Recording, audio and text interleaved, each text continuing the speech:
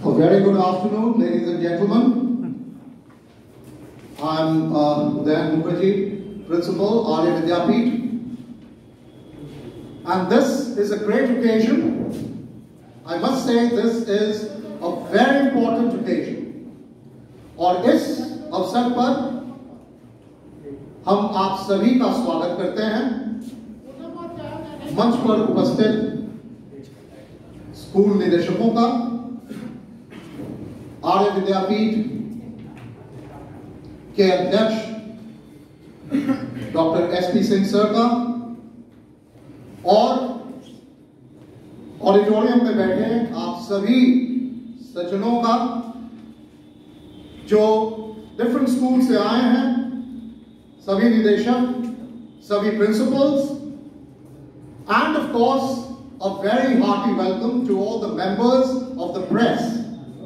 आपके बगैर तो ये संभव ही नहीं हो पाता आप लोग जानते हैं कि हम लोग यहाँ क्यों एकत्र हुए हैं पिछले नौ महीनों से निजी स्कूल्स जितने भी हैं, उनके हालात हालात ऐसे हैं कोरोना ग्रस्त हालात में उनकी स्थिति बद से बदतर होती जा रही और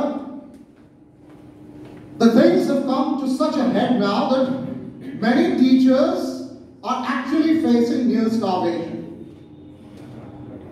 सभी स्कूल्स इनिशियली कोशिश किए कि इसको सस्टेन करने की, लेकिन हर चीज़ का एक हद होता है, हर चीज़ की एक सीमा होती है। अब सीमाओं को बिल्कुल पार कर चुका है।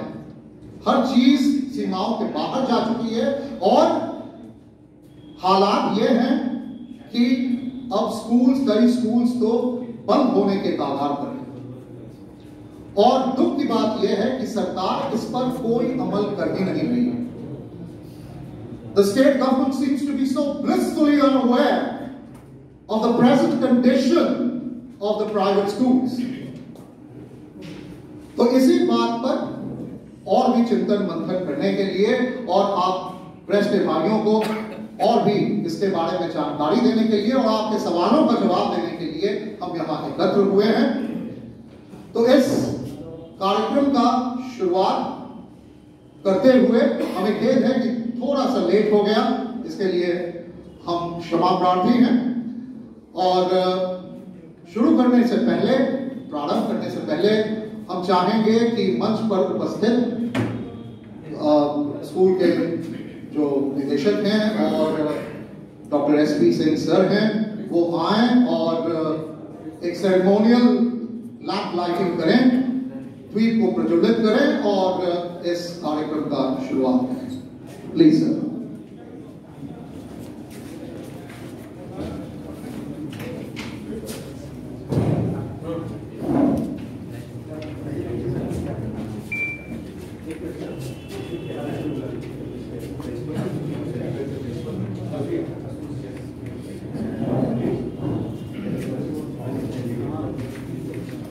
हम आमंत्रित करते हैं कैम्ब्रिज इंटरनेशनल और सेंट जेवियर्स के प्रिंसिपल्स को।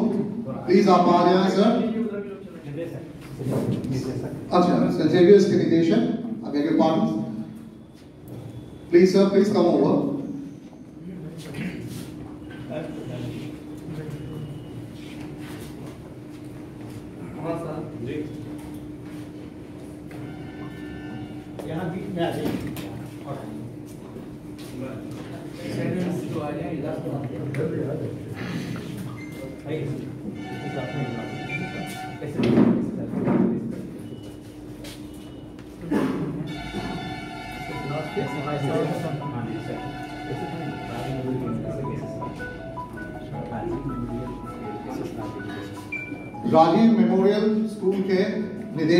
S Raj please आप आ जाए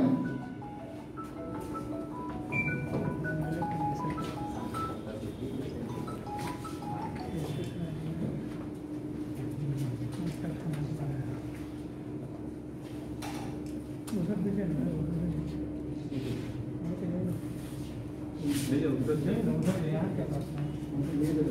ठीक है नहीं तो लेके चलते जाइए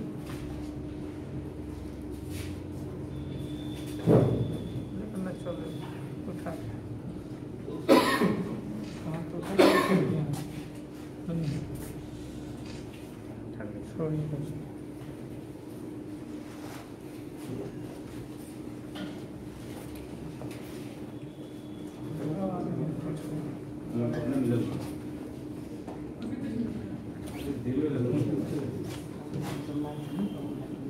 ना नहीं बात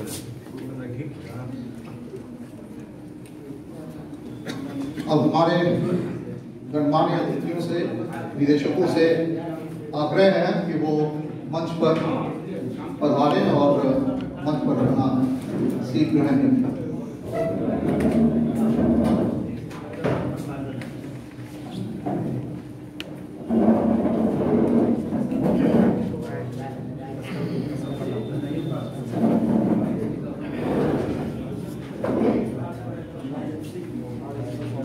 And now it's my privilege to call upon Sri Anand Kumar Jyoti, Director, ABC Educational Institute, Madhavpur, to take program forward.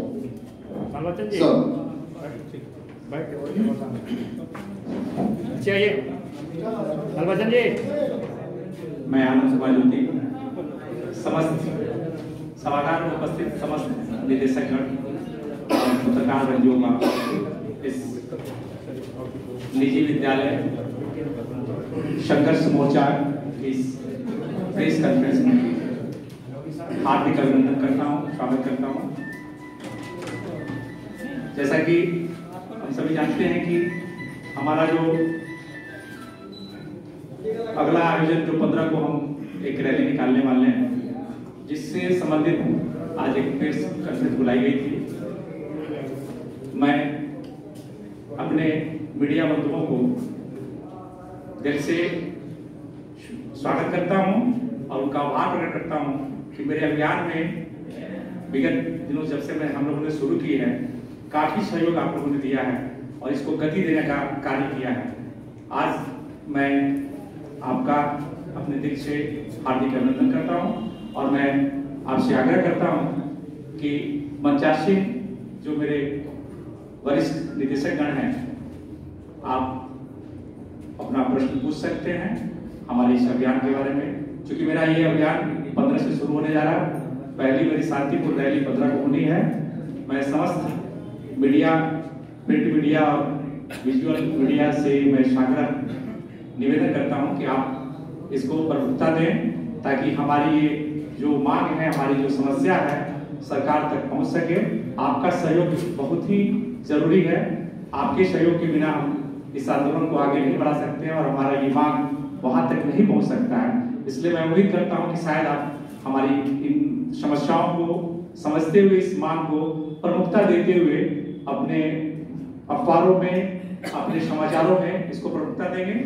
मैं आपसे आग्रह करता हूँ कि आप अपने प्रश्नों का, जो भी आपके प्रश्न हैं, हमारे जो मंचासीन और कुछ महिलाएँ भी हमारे यहाँ हैं, जो निदेशक गण पीछे बैठी हुई हैं, आप उन प्रश्नों को पूछ सकते हैं। थैंक यू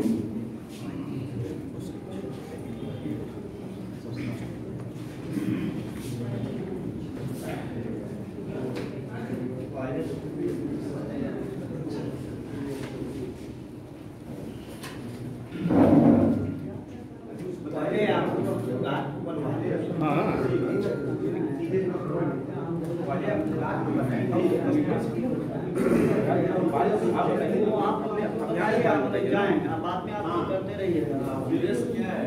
उद्देश्य क्या है वो बताइए ना आप पंद्रह को क्या करने वाले हैं क्या योजना है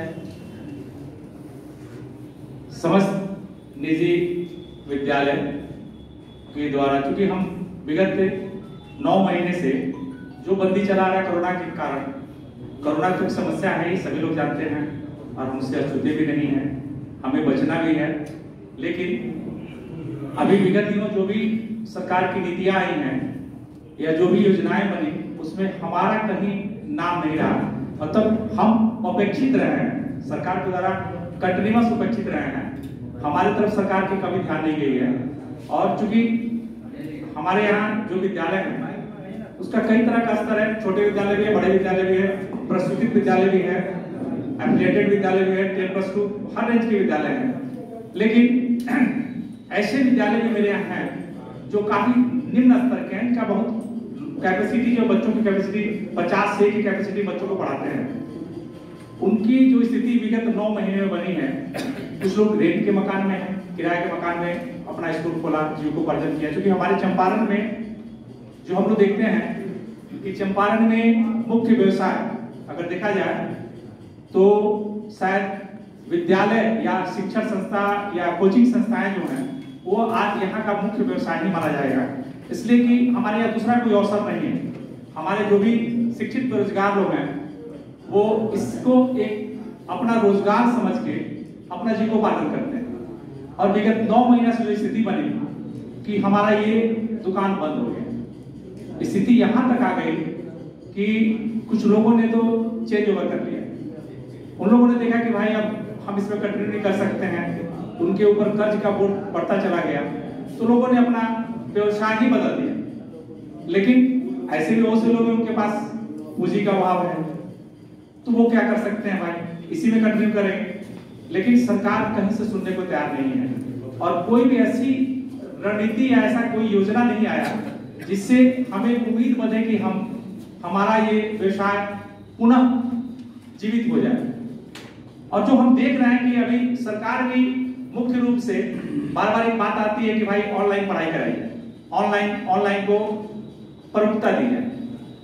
तो चूँकि हम लोग जहाँ से बिलोंग करते हैं, जहाँ से हैं, शायद ही हम इससे अपरिचित हों कि दूर दराज गाँव के मैक्सिमम लोग के पास वो सुविधा नहीं है कि अपने बच्चों को ऑनलाइन पढ़ा सके। ऑनलाइन शिक्षा कहीं से गलत नहीं है। ऐसा नहीं है कि उसका लाभ हमें, हमारे बच्चों को नहीं मिलता है। लेकिन सारे लोग मतलब मैक्सिमम जो जनसंख्या हमारे यहाँ की है मैक्सिमम जो विद्यार्थी हैं, उसका लाभ नहीं ले सकते ऐसी स्थिति में सरकार कहती है अगर ऐसा किया जाए तो वो बच्चे जो ऑनलाइन की, का लाभ नहीं ले पा रहे हैं, उनकी पढ़ाई तो ऐसे भी समाप्त हो गई। ऐसे बहुत से टीचर हैं, जिनका स्कूलों से जो तनख्वाह मिलता था, उससे उनका जीविकोपार्जन चलता था। हमारे यहाँ बहुत से नन टीचिंग स्टाफ थे, बहुत से सहायक स्टाफ थे, जो इससे जीते थे। क्योंकि स्कूल बंद हो गया, उनका आय बंद हो गया, स्रोत बंद हो गया। तो स्वाभाविक है कि एक आध दो महीने लोगों ने वेतन दिया होगा। अब उनका वेतन देना बंद हो गया। उनके लिए कोई विकल्प नहीं रह गया, जो हमारे एम्प्लाई थे, क्या करें? तो ऐसी स्थिति में सरकार को कहीं ना कहीं ऐसी कोई योजना ज़रूर देनी चाहिए थी कि जिससे हमारे जो मतलब हमको लगता है कि हमारे इस जिला में देखा जाए।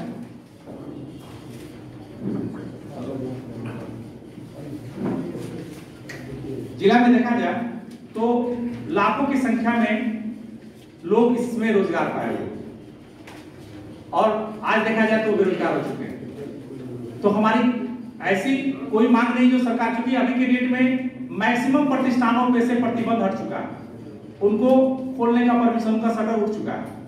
और किसी न किसी रूप में उनका आय का स्रोत चालू हो चुका है। मैंने उनका आय आने लगा लेकिन हम एक ऐसे हैं?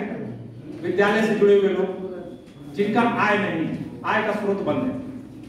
अगर गवर्नमेंट स्कूल को देखा जाए तो बंद करके भी सरकार उन्हें वेतन दे रही है।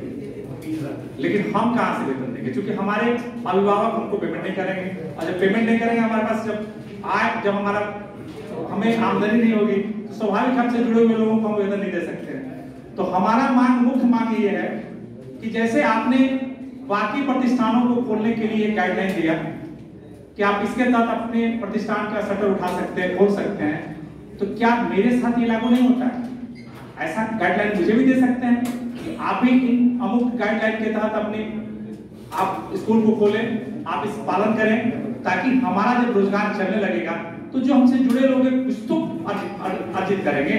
लेकिन सरकार अभी तक इस पे बार बार एक आता है कि अमुक डेट के बाद सरकार ऐसा सोच रही है। ये हम कई महीनों से देख रहे हैं कि हर बार अखबार में आता है स्टेटमेंट आता है गवर्नमेंट का, कि इस पे विचार किया जा रहा है।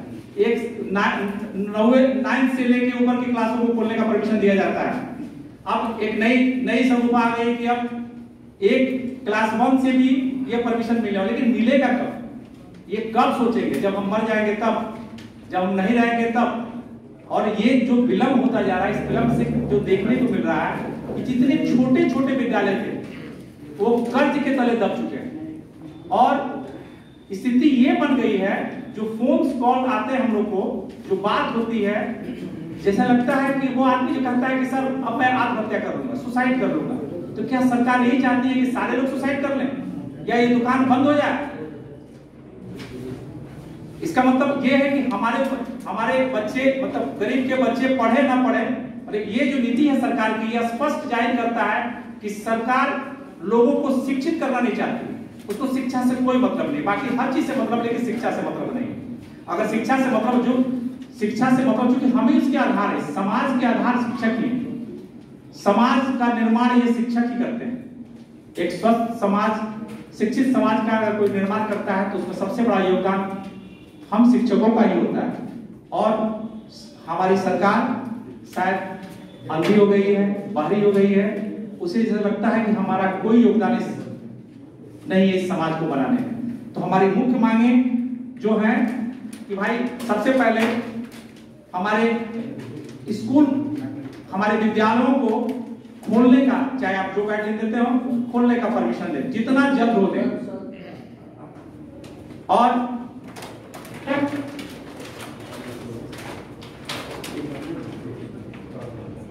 इसके साथ ही मैं चाहूँगा, मैं माननीय एसएससी साहब से चाहूँगा कि वही बोलिए ना वही है।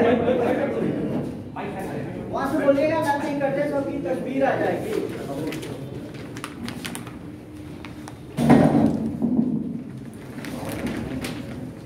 आदरणीय आर्य विद्यापीठ विद्यालय के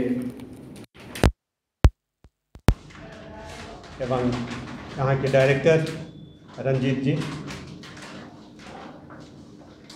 उपस्थित मंच पर God like care public school के डायरेक्टर,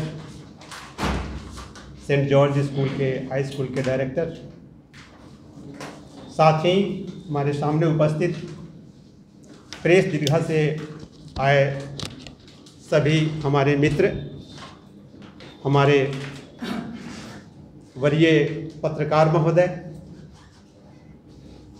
साथ ही इस बैठक में उपस्थित दूर से आए हुए विद्यालय के निदेशकगण, प्राचार्यगण,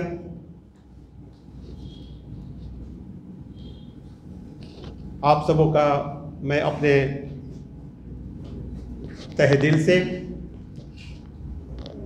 सादर अभिनंदन करता हूँ आज की बैठक के लिए।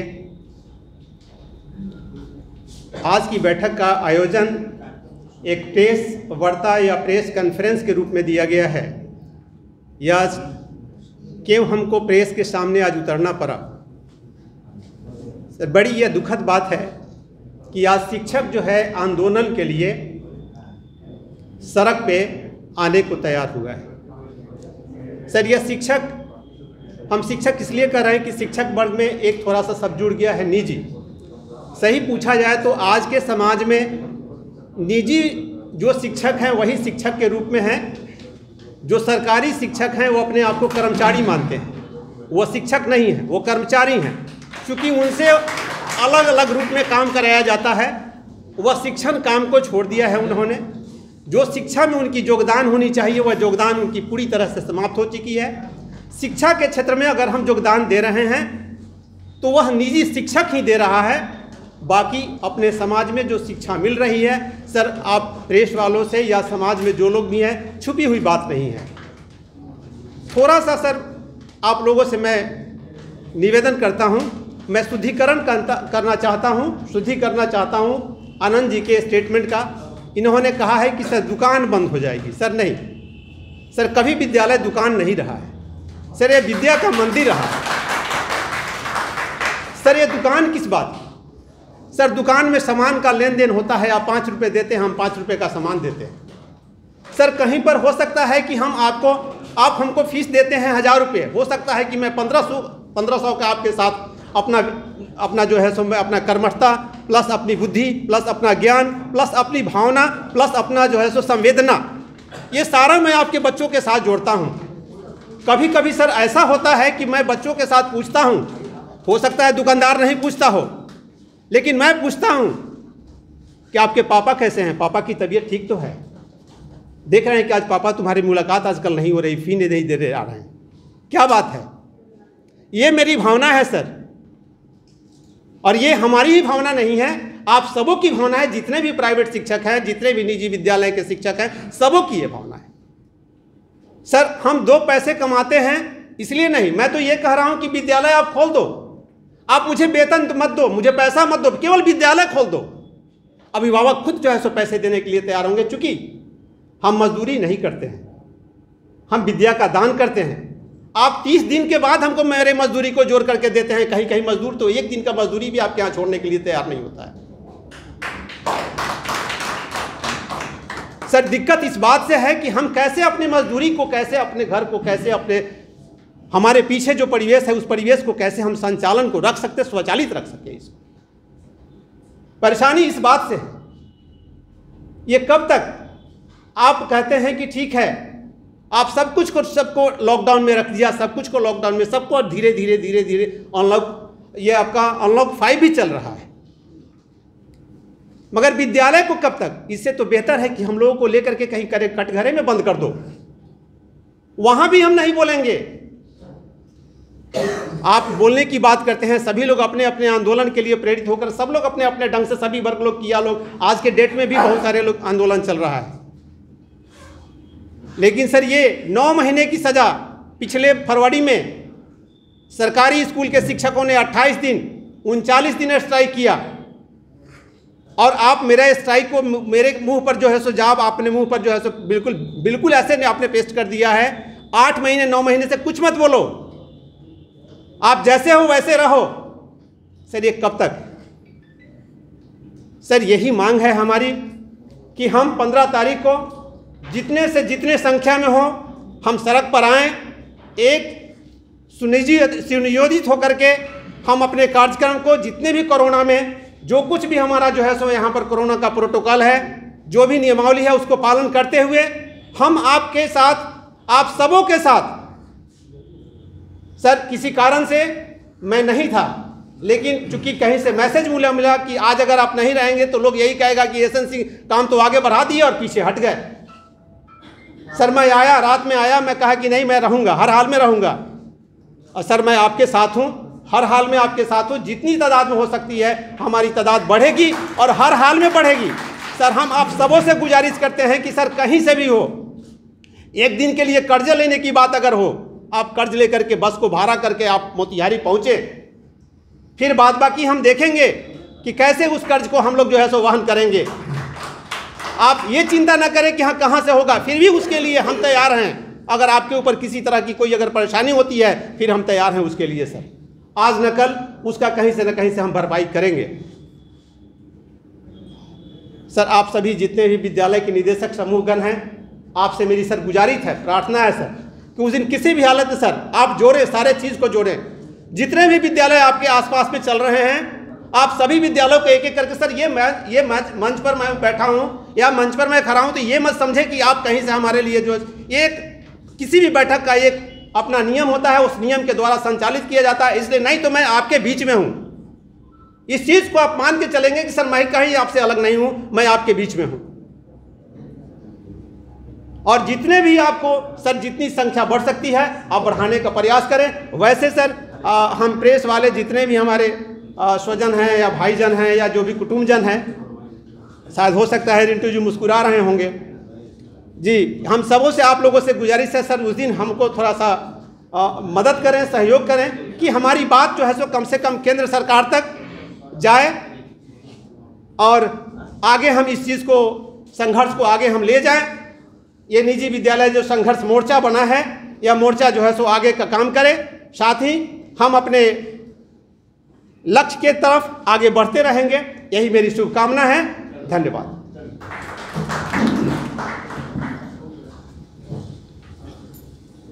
एक ब्रीफ कर दीजिए। हम लोग थोड़ा निकलेंगे भाजपा का भी जी जी जी। बैठ जाइए बैठ जाइए। भाजपा का प्रेस कॉन्फ्रेंस है वहाँ एक मिनट। छोटा भी एक मिनट जी में हो जाएगा। जी जी हम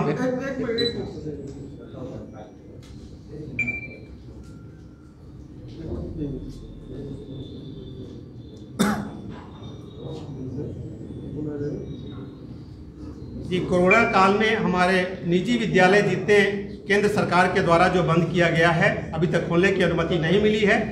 उसी के आलोक में निजी संघर्ष, निजी विद्यालय संघर्ष मोर्चा 15 तारीख को हम एक विशाल रैली का आयोजन कर रहे हैं और ये केंद्र सरकार को हम यह संदेश देना चाहते हैं कि हमारे समस्या पर उसका निदान करें और विद्यालय को खोलने की अनुमति दें। अन्यथा हम सड़क पर डेली किसान आंदोलन की तरह हम चक्का जाम करेंगे और आगे का इसी तरह से हम आगे रैली निकालते रहेंगे। यह हम राज्य सरकार को और केंद्र सरकार दोनों को हम यह संदेश देना चाहते हैं कि हमारे ऊपर केंद्र सरकार जो है सो सहानुभूति रख करके संवेदनशील होकर के हमारे विद्यालय को खोलने की अनुमति दे। क्या परेशानी क्या क्या है? परेशानी है कि विद्यालय चलाने में जितने भी हमारे साथ हम आठ महीने से मेरा हम लोगों की घर के घर नहीं चल पा रहा है। हमारे विद्यालय का जितने स्टाफ हैं, उनका हम वेतन नहीं दे पा रहे हैं। बहुत सारे विद्यालय जो किराए में मकान में चल रहा है, उनका किराए की भरपाई नहीं हो पा रही है। हम लोग आर्थिक तंगी से इतने गुजर रहे हैं कि परिवार चलाने तक मुश्किल हो गया है। ये हमारी मांग है कि हम कम से कम मुझे विद्यालय खोलने की अनुमति मिले और इस अनुमति से हम लोग कम से कम अपने, हमको सरकार से कोई अभी अनुदान की ज़रूरत नहीं है। केवल विद्यालय खोलने की मुझे मेरी मेरी मेन मांग है कि विद्यालय खोलने की अनुमति मिले।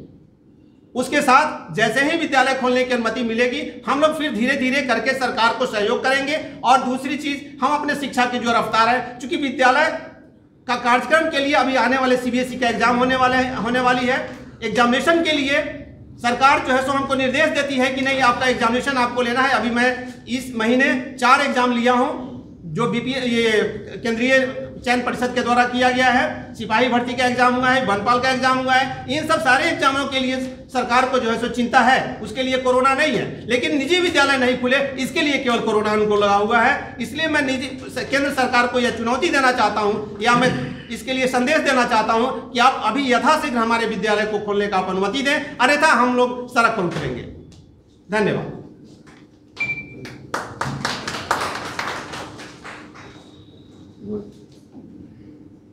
सर अपना परिचय बता G S N Singh principal Shanti Niketan jubilee school Motihari. मैं विजय जी सर से निवेदन करूँगा कि सर आप भी दो सब हमारी अपनी समस्या पे बोलें।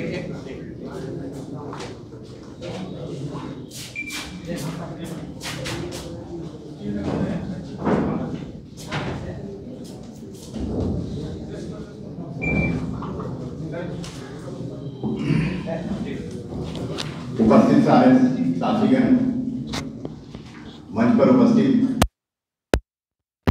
और प्रेस सारे मित्रगण, ये परिस्थिति जो पैदा हुई है, वो हमारे कोरोना काल में बंद स्कूल के कारण और इस सिचुएशन से केवल हम ही लोग पीड़ित रहे ये कहाँ का इंसाफ है सरकार अगर सुशासन कहती है अपने आप को तो क्यों हमारे ऊपर ध्यान नहीं दिया जा रहा है अगर ध्यान दिया भी जा रहा है तो ये कैसा ध्यान है? कि हम मर रहे हैं, हमारे स्टाफ मर रहे हैं, उनको गाड़ी का किस्ती नहीं मिल रहा है, न बिजली बिल जमा हो रहा है, न हम भवन का किराया दे रहे हैं, और हमारे ऊपर कर्ज का बोझ लद रहा है, और हम डिप्रेशन में जा रहे हैं। ये कहाँ का हिसाब है? इसके लिए मैं अपने तरफ़ से और अपनी सारे टीम की तरफ़ से। जो यह बना है निजी विद्यालय यह केवल निजी विद्यालय किसी खास वर्ग और किसी संघ का यह समूह नहीं है ये सारे निजी विद्यालय का समूह है। मैं सभी से यह प्रार्थना करूँगा करबद्ध प्रार्थना करूँगा कि सभी निजी विद्यालय इसमें शामिल हो पंद्रह तारीख की रैली। धन्यवाद। मैं एस एस जी से निवेदन करूँगा कि आप भी आए और हम की समस्या के को सर। के कुछ शब्द बोले।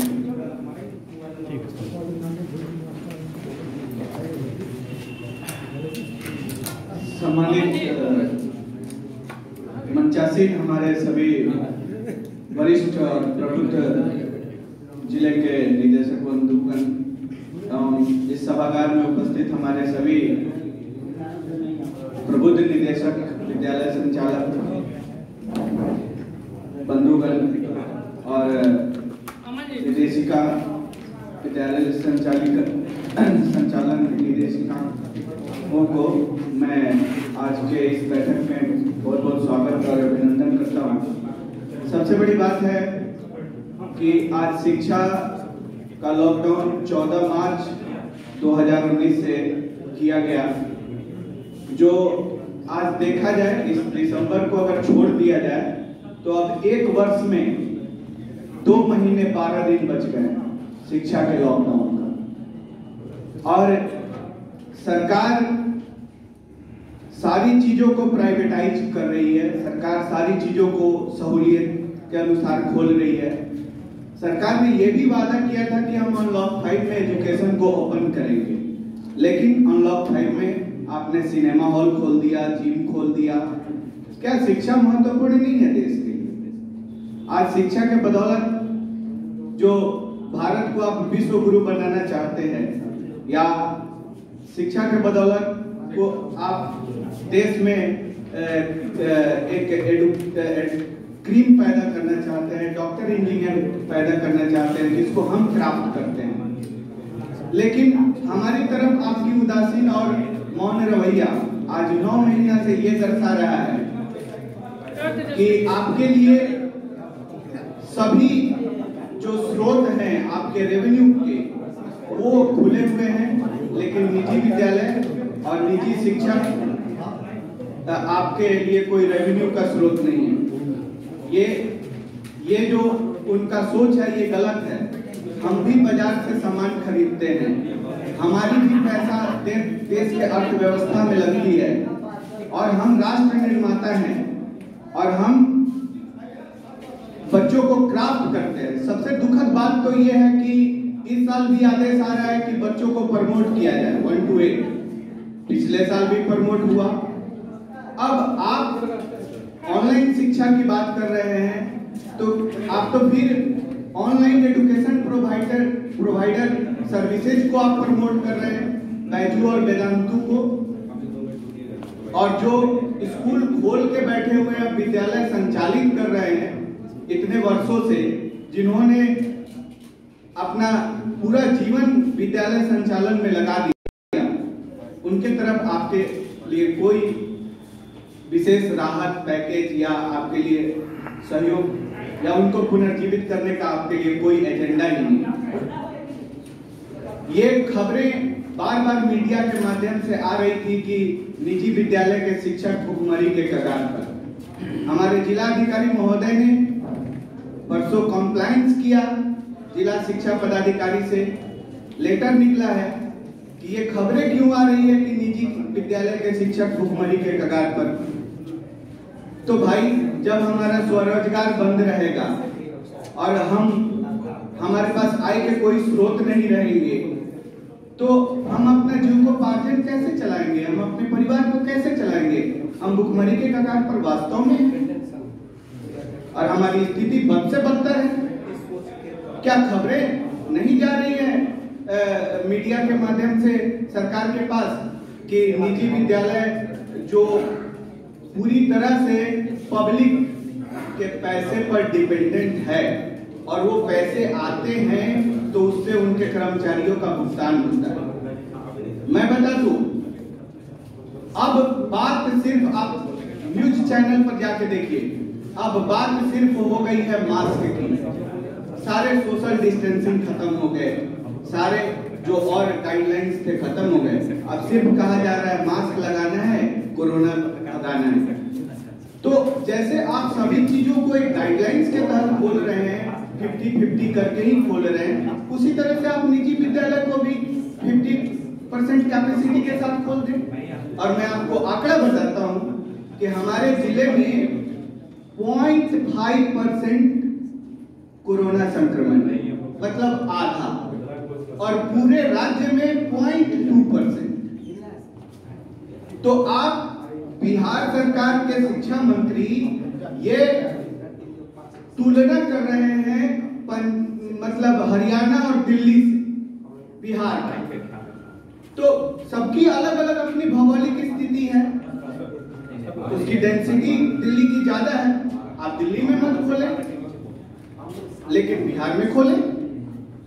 यहाँ कोरोना संक्रमण कम है। तो इन सभी चीज़ों के साथ आज 80 प्रतिशत निजी विद्यालय जो किराए के मकान में रहते हैं, या उसमें से 20 परसेंट विद्यालय बंद हो गए और 30 परसेंट बंद होने के कगार पे हैं। ठीक है? शिक्षकों ने इस छठ पर्व त्योहार में कर्ज लेके, पत्नी का गहना गिरवी रख के और त्योहार मनाया। इससे विकट समस्या क्या हो सकती है? राष्ट्र निर्माता और कलम के सिपाही के, जिसने अपना सर्वस्व निछावर कर दिया शिक्षा को ऊपर उठाने के लिए। सर ने एस एन सिंह सर ने कहा कि मैं इनके बात का समर्थन करता हूँ कि हम बच्चों के दुख सुख में भी शामिल होते हैं। अगर उनका समय पे भी नहीं आता है, तभी भी हम उनसे रूबरू होते हैं। कभी भी हम भेदभाव की भाषा प्रयोग नहीं करते हैं। कभी भी हम उनको क्लास से नहीं कहते हैं कि हम तुमको नहीं पढ़ाएँगे, तुम्हारा लेट फ़ी आया है। लेकिन ये सरकार का उदासीन रवैया कतई बर्दाश्त करने लायक नहीं है। और मैं सभी साथियों का आह्वान करता हूँ कि सभा में जितने बैठे हमारे साथी हैं, आपके संपर्क के जितने भी विद्यालय हैं उनको जोड़ें और जब तक हम अपनी आवाज़ और बुलंद नहीं करेंगे और ताकत और प्रदर्शित नहीं करेंगे, तब तक सरकार हमारी व्यथा और दुख को सुनने वाली नहीं है बहुत बहुत धन्यवाद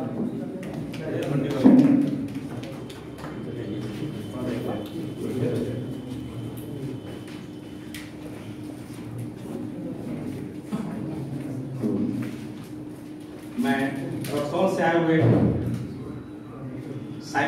साहब को मैं आमंत्रित करता हूँ Himmat band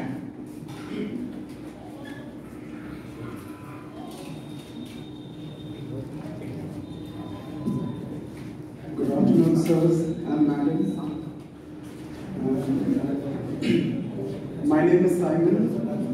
basically मैं साउथ इंडिया तमिलनाडु का हूँ। हिंदी कमज़ोर है। बड़ों को कैसे सम्मान दिया जाता है बहुत अच्छे से तो नहीं मालूम है लेकिन सर आप सबों को मेरा नमस्कार। और देखिए दो मिनट मैं दिल से बात करना चाहूँगा। स्कूल के दिनों में ना मेरे आदर्श मेरे टीचर्स हुआ करते थे। मैं बड़े होकर अपने टीचर्स जैसे बनना चाहता था। मैं फेसबुक कभी यूज़ नहीं करता हूँ। लेकिन अब जब फेसबुक यूज़ फेसबुक में कुछ देखने को मिलता है। तो ऐसा लगता है ना जैसे हमने जिन स्टूडेंट्स को स्टिक चलाया हो, किसी को डांटा हो, वही हमारे नाराज़ स्टूडेंट्स हैं जो इन दिनों हम पर गुस्सा उतार रहे हैं। मैंने फेसबुक देखने पे लगता है कि इनके अंदर के फीलिंग्स खत्म हो गए हैं। कोई यदि लिखता है, हम आंदोलन करेंगे स्कूल खोलने के लिए। इतने सारे कमेंट्स आते हैं, क्यों? पैसा खत्म हो गया क्या? तुम्हारे दाल नहीं गलेंगे। बहुत लूट लिया तुम लोग। ये सब बातें सुन करके ना लगता है इनको वो लोग नज़र नहीं आ रहे हैं जो स्कूल्स वाले जिन्होंने सुसाइड किया है। वो स्कूल्स जो बंद हो गए हैं, उनके प्रति इनको हमदर्दी क्यों नहीं आ रही है? कहाँ गया वो इंसानियत? क्या हम इन्हें अच्छे इंसान नहीं बना पाए हैं? बहुत कुछ बातें दिमाग में आती है, सर। और जानते हैं, जो सबसे पहले जानते हैं, सर, बुरा मत मानिएगा कोई मीडिया के यदि यहाँ उपस्थित है। मीडिया वालों ने जो है ना सबसे पहले हमें बोला है, कुकुर मुत्ता की तरह। सही है ना सर। कुकुर मुत्ता है, कुकुर बुत्ता कुछ। कुकुर बुत्ता की तरह स्कूल खोल रहे हैं। लूट रहे हैं किताबों के नाम पे यूनिफॉर्म के नाम पे, इसके नाम पे, उसके नाम पे तो हम बन गए लुटेरे। हम टीचर्स कहाँ रह गए? लुटेरे। और इस तरह कुछ स्कूल वालों से जो है लुटेरे अपना हिस्सा मांगने लगे। हमें अपना हिस्सा हमें रिस्पेक्ट कहाँ मिलता है? और अभी आप देखिएगा, इस लॉकडाउन में कुछ महीना पहले सरकार ने प्राइवेट स्कूल वाले को कुछ नहीं बोला, लेकिन अपने टीचर्स को घर घर भेजा है बच्चे इकट्ठा करने के लिए। पता नहीं आप लोग को ये मालूम है कि नहीं पेपर्स में आप पढ़े हैं कि नहीं? वो लोग जो बाहर से मजदूरी करके आए हैं, उनके बच्चे को अपने स्कूल में दाखिला ले रहे थे। आपके भी कितने बच्चे चले गए होंगे इस बीच सरकारी स्कूल में? क्योंकि उनको प्रलोभन दिया जा रहा है। कपड़े मिलेंगे, किताब मिलेंगे, पैसे मिलेंगे, राशन मिलेगा, साइकिल मिलेगा और पता नहीं क्या क्या तो लॉकडाउन में सबके पास क्राइसिस है। मैं ज़्यादा कुछ तो नहीं जानता हूँ, इतना ही जानता हूँ कि जो हमारे प्रधानमंत्री सर हैं, जो हमारे मुख्यमंत्री सर हैं, उनसे यही कहना चाहूँगा कि सर, लाखों करोड़ों लोगों के आशीर्वाद से आप प्रधानमंत्री बने हैं, आप मुख्यमंत्री बने हैं। उन लाखों करोड़ों लोगों में कुछ हम लोग भी हैं जो निजी स्कूल वाले हैं। आज हम बहुत तकलीफ़ में हैं। हमारे आशीर्वाद से आप सीएम बने, आप पीएम बने हैं। आज हमें आपके आशीर्वाद की ज़रूरत है। तो कृपया यदि आशीर्वाद देने वाले ही उनका ही अस्तित्व मिट जाए। आगे आपको आशीर्वाद कौन देगा और आशीर्वाद देने लायक वो संस्कार कौन देगा लोगों को? इसलिए हम पर थोड़ा विचार किया जाए। बहुत बहुत शुक्रिया सर। धन्यवाद, साइमन साहब को। और मैं आमंत्रित करता हूँ इस आंदोलन को, गति देने वाले को, जो दिन रात एक कर दिया जिस व्यक्ति ने। और उम्र तो कम है, लेकिन जुनून बहुत तगड़ा है।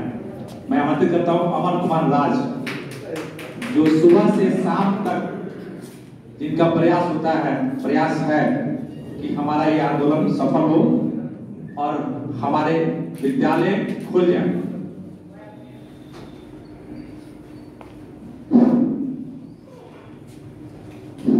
आप सभी स्कूल निदेशकों को पहले मेरे तरफ़ से स्वागत है। आपने आज के इस प्रेस कॉन्फ्रेंस में बढ़ चढ़ कर हिस्सा लिया। इसके लिए मैं निजी विद्यालय संघर्ष मोर्चा के तहत आपको मेनी मेनी थैंक्स बहुत बहुत धन्यवाद करते हैं। निजी विद्यालय संघर्ष मोर्चा ये क्यों बनानी पड़ी? मैं आप तमाम निजी निदेशकों से इसके बारे में थोड़ा बताना चाहूँगा कि आखिर ये क्यों मुहिम को छेड़ना पड़ा? क्यों इसके लिए हम लोगों ने इस हॉल में एकत्र हुए और इस आज के कॉन्फ्रेंस के बाद पंद्रह को हम लोगों को रैली क्यों निकालनी पड़ी? सरकार जो निजी विद्यालयों को प्रति सरकार की जो रवैया है, उसकी जो सोच है, सरकार चाहती है कि निजी विद्यालय बहुत जल्द बंद हो जाए। दोस्तों, मैं आपको बता दूँ कि निजी विद्यालय 10 महीने से बंद हैं। सरकारी स्कूल कभी बंद नहीं हुआ है। आपको इस बात से मैं केंद्रित करूँ कि निजी सरकारी विद्यालय आज भी खुले हैं। दो महीना पहले भी सरकारी स्कूल खुले थे, उनके टीचर घर घर जाकर बच्चों को नामांकन करते थे।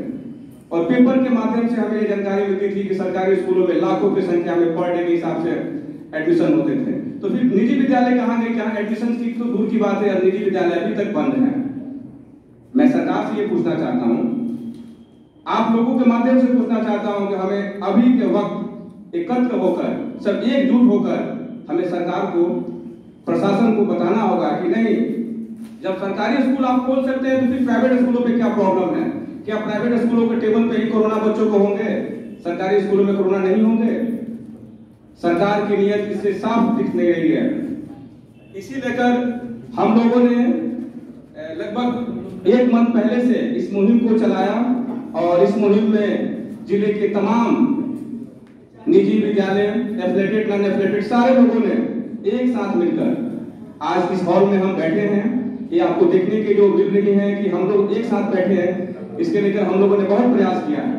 इस प्रयास में हमारे चकिया से, अरेराज से, बंजरिया से, ढाका से घोड़ा सहान से हमारे तमाम साथियों का बहुत योगदान है। मोतिहारी, तुरगौलिया तमाम जितने भी हमारे जो क्षेत्र हैं, वहाँ पे सभी लोगों ने जो संयोजक बनाए गए हैं, खास करके मैं सरफराज आलम, प्रमोद कुमार, रमन कुमार और भी मेरे जितने भी जो साथी हैं, राजेश कुमार, जितने संयोजक हैं, उन्होंने रात दिन मेहनत किया इस आंदोलन के लिए। और मुझे पूरा विश्वास है कि हमारा पंद्रह का जो रैली है, वो सफल होगा। और पंद्रह की रैली के बाद ही हम चुपचाप नहीं बैठेंगे। हम सरकार को या स्थानीय प्रशासन को बताएँगे, हमारे पास एक एजेंडा बना हुआ है जो सात दिन के बाद हम हड़ताल पे बैठेंगे भूख हड़ताल पे बैठेंगे, हमारा बहुत आक्रोशित प्रदर्शन होगा। ये सारी चीज़ें हम तमाम सभी मिलकर इसको, कार्यक्रम को करना है। ऐसा नहीं कि मैं ही सिर्फ़ इसमें जोश लगाया हूँ। ये ये जोश जो आज हॉल में दिख रहा है तमाम आप सभी को जोश के साथ ये, एक हॉल में हम लोग बैठे हैं। मैं लास्ट में आप सभी से यही आग्रह करूँगा कि सभी स्कूल बढ़ चढ़ कर हिस्सा लें। ये एक ऐसा दौर है जहाँ पे सिर्फ़ स्कूल ही स्कूल देखे सड़कों पे। पंद्रह की रैली में जब जब स्थानीय लोग जब जब देखे गार्जियन कि स्कूल वालों की एक लंबी लंबी लाइन है। उस लाइन को इतना हम लोग लंबा लाइन कर दे कि वो देखते रह जाए कि इसमें कौन सा स्कूल है और कौन सा स्कूल नहीं है। आज हमारे बीच एस एस राज सर भी हैं, जिन्होंने अपने संगठन के माध्यम से हमारे इस मोर्चा को एक बल दिया है और उन्होंने ये बात भी कही है कि हम आपके इस आंदोलन में, इस मोर्चा में हम साथ हैं। हम बहुत बहुत धन्यवाद करते हैं एस एस को कि उन्होंने इस परिस्थिति को समझा। संगठन अलग अलग हो सकते हैं, विचारधारा अलग अलग हो सकते हैं, लेकिन अभी का जो समय है, अभी का जो दौर है एकजुट होने की है। तो इसलिए दोस्तों, हम सभी एकजुट होकर पंद्रह रैली को अपने अपने क्षेत्र से अपने अपने अनुमंडल से ज़्यादा से ज़्यादा संख्या में पंद्रह को, साढ़े ग्यारह बजे टाउन हॉल को हम इस कदर दिखा दे शहर में कि हमारे हज़ारों में संख्या हो। मैं आपसे ये अनुरोध करूँगा, आपसे रिक्वेस्ट करूँगा कि ये जो पंद्रह की रैली इसमें ज़्यादा से ज़्यादा संख्या बनती है। धन्यवाद।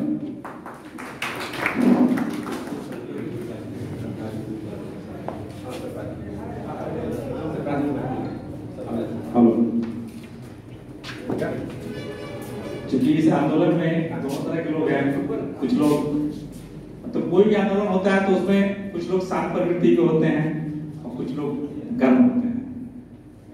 क्योंकि आज़ादी में भी दोनों दोनों का योगदान है तो हमारे कुछ ऐसे साथी हैं जो एकदम गर्म प्रवृत्ति हैं और वो जोश भरते हैं मैं वैसे एक साथी को आमंत्रित करता हूँ। सरफराज जी आप मंचासी हैं तालियाँ मैं साथ स्वागत करें क्योंकि पूरा जोश भरा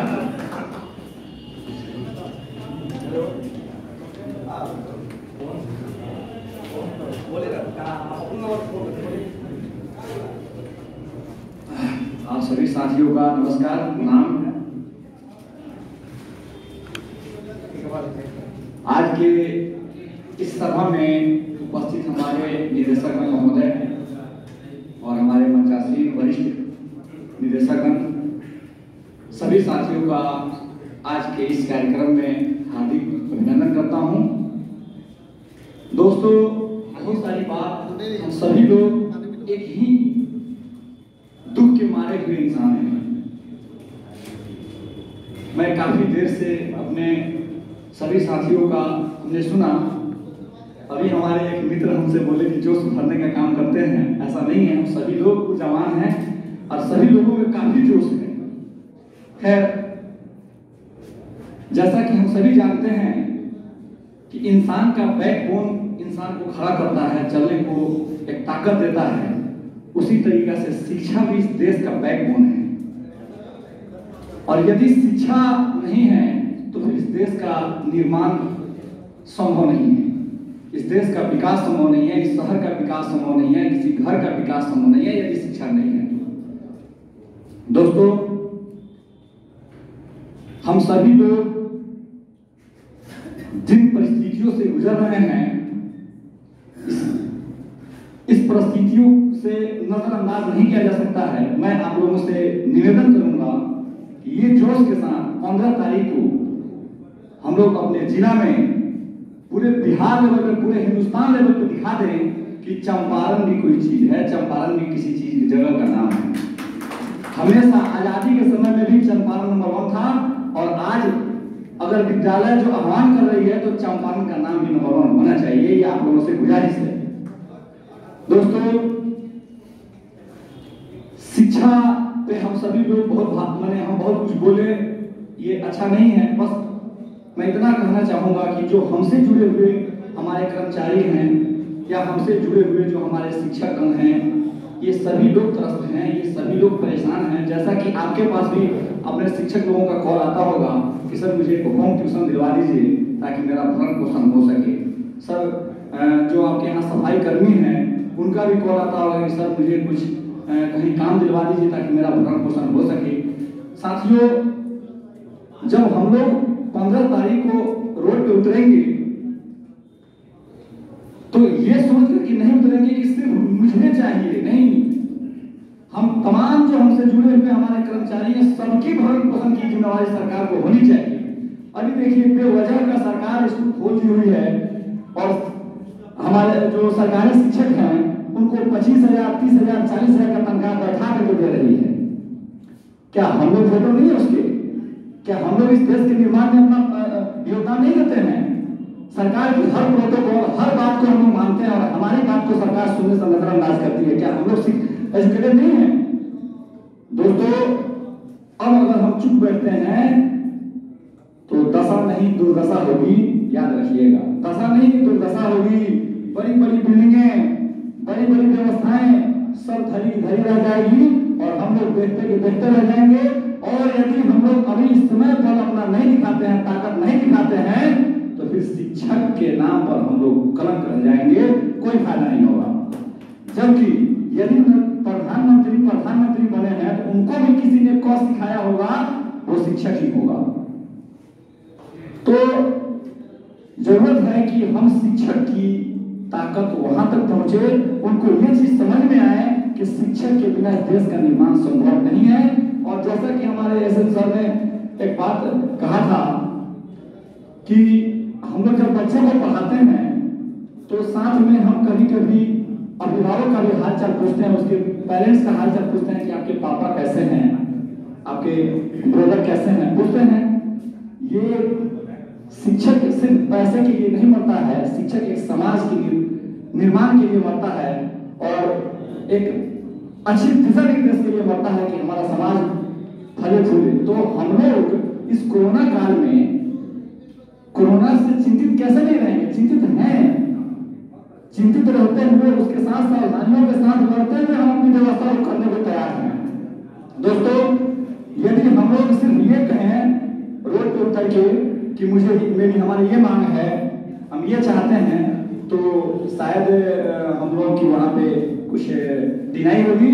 तो हम लोग सिर्फ़ अपनी बात ना करके हम सभी कर्मचारियों की बात अपने के की बात करेंगे साथ में जो मेरे बच्चे मेरे से जुड़े हुए हैं, उनकी भी शिक्षा की बात करेंगे कि उनका भी भविष्य जर्जर हो गया। सरकार तो चाहती है कि जनता, प्रजा क्या रहे पूर्वक रहे और हम उस पर राज करें।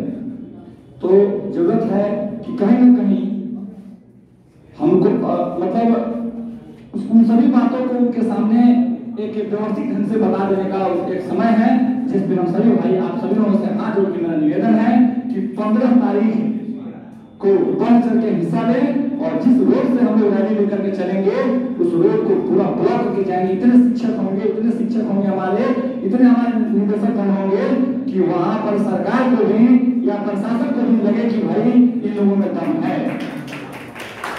दोस्तों, ये बहुत ज़रूरी बात है। देखिए, आज तो हमारे बहुत संगठन के सभी हमारे साथीगण यहाँ मौजूद हैं, जिसमें हमारे रक्सौल से भी जो हमारे कोऑर्डिनेटर लोग और जो भी उस दिन चुने गए थे, उस सभी लोग रोशन जी सर, ये सभी लोग एक साथ होकर यहाँ पर कोई प्रोटोकॉल नहीं है कि फलाना वो सचिव हैं, अध्यक्ष हैं, ऐसा कुछ नहीं हम सभी निदेशक हैं और हम सभी लोगों को ज़रूरत है कि एक साथ मिल करके इस आंदोलन को आगे बढ़ाएँ। साथ में आज बड़ी खुशी खुशी मैंने हुआ देख करके इस भवन में कि हमारे एस राज सर भी हमारे साथ हैं और इस इस गति को बल देने का उन्होंने काम किया। इसके लिए मैं उनको फिर से धन्यवाद करता हूँ। साथ ही हम सभी निदेशक जो बढ़ चढ़ के आप लोगों ने हिस्सा लिया इसके लिए बड़ी खुशी हो रही है। लेकिन याद रहे भाइयों, पंद्रह तारीख को हर हर आदमी कम से कम ये प्रयास करे कि 10 से 20 आदमी अपने साथ लेकर के ज़रूर आए। 10 से 20 आदमी दोस्तों, जब तक भीड़ नहीं होगी, जब तक रोड ब्लॉक नहीं होगा, तब तक हमारी आवाज़ ऊपर तक जाना मुश्किल हो जाएगा। आप समझते हैं कि मीडिया भी चुकी है। फिर हम लोग का अपना आवाज़ बुलंद नहीं कर पाएँगे। दोस्तों, इन सभी इन सभी बातों के साथ मैं अपने वाणी को विराम देता हूँ। जय हिंद, जय भारत। जय नेत्री विद्यालय संघर्ष मोर्चा पूर्वी चंपारण धन्यवाद। धन्यवाद प्रभा जी को। मान ले तो जीत है, ठान ले तो। मान ले तो हार है, ठान ले तो जीत है। मैं एक अपने वरिष्ठ सहयोग के निदेशक महोदय को मैं आमंत्रित करना चाहता हूँ। माननीय राजीव सर आए मंच पे दो सब हम लोग को इस समस्या पे अपना प्रकाश डालें।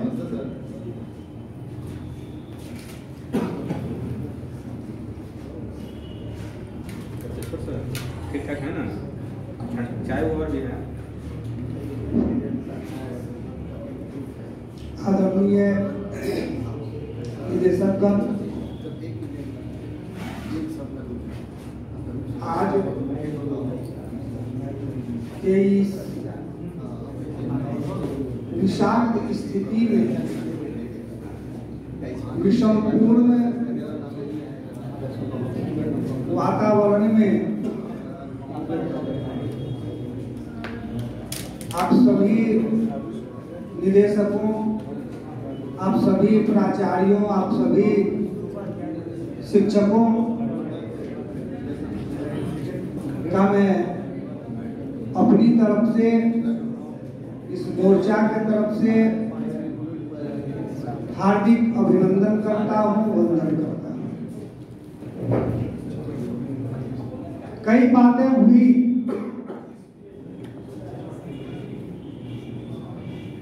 अभी हमारे वरिष्ठ साथियों ने कई बातें की, लेकिन शायद एक बात को आप लोगों ने महसूस किया हो या न किया हो, मैंने किया है कि हमारी इस दुर्दशा के हेतु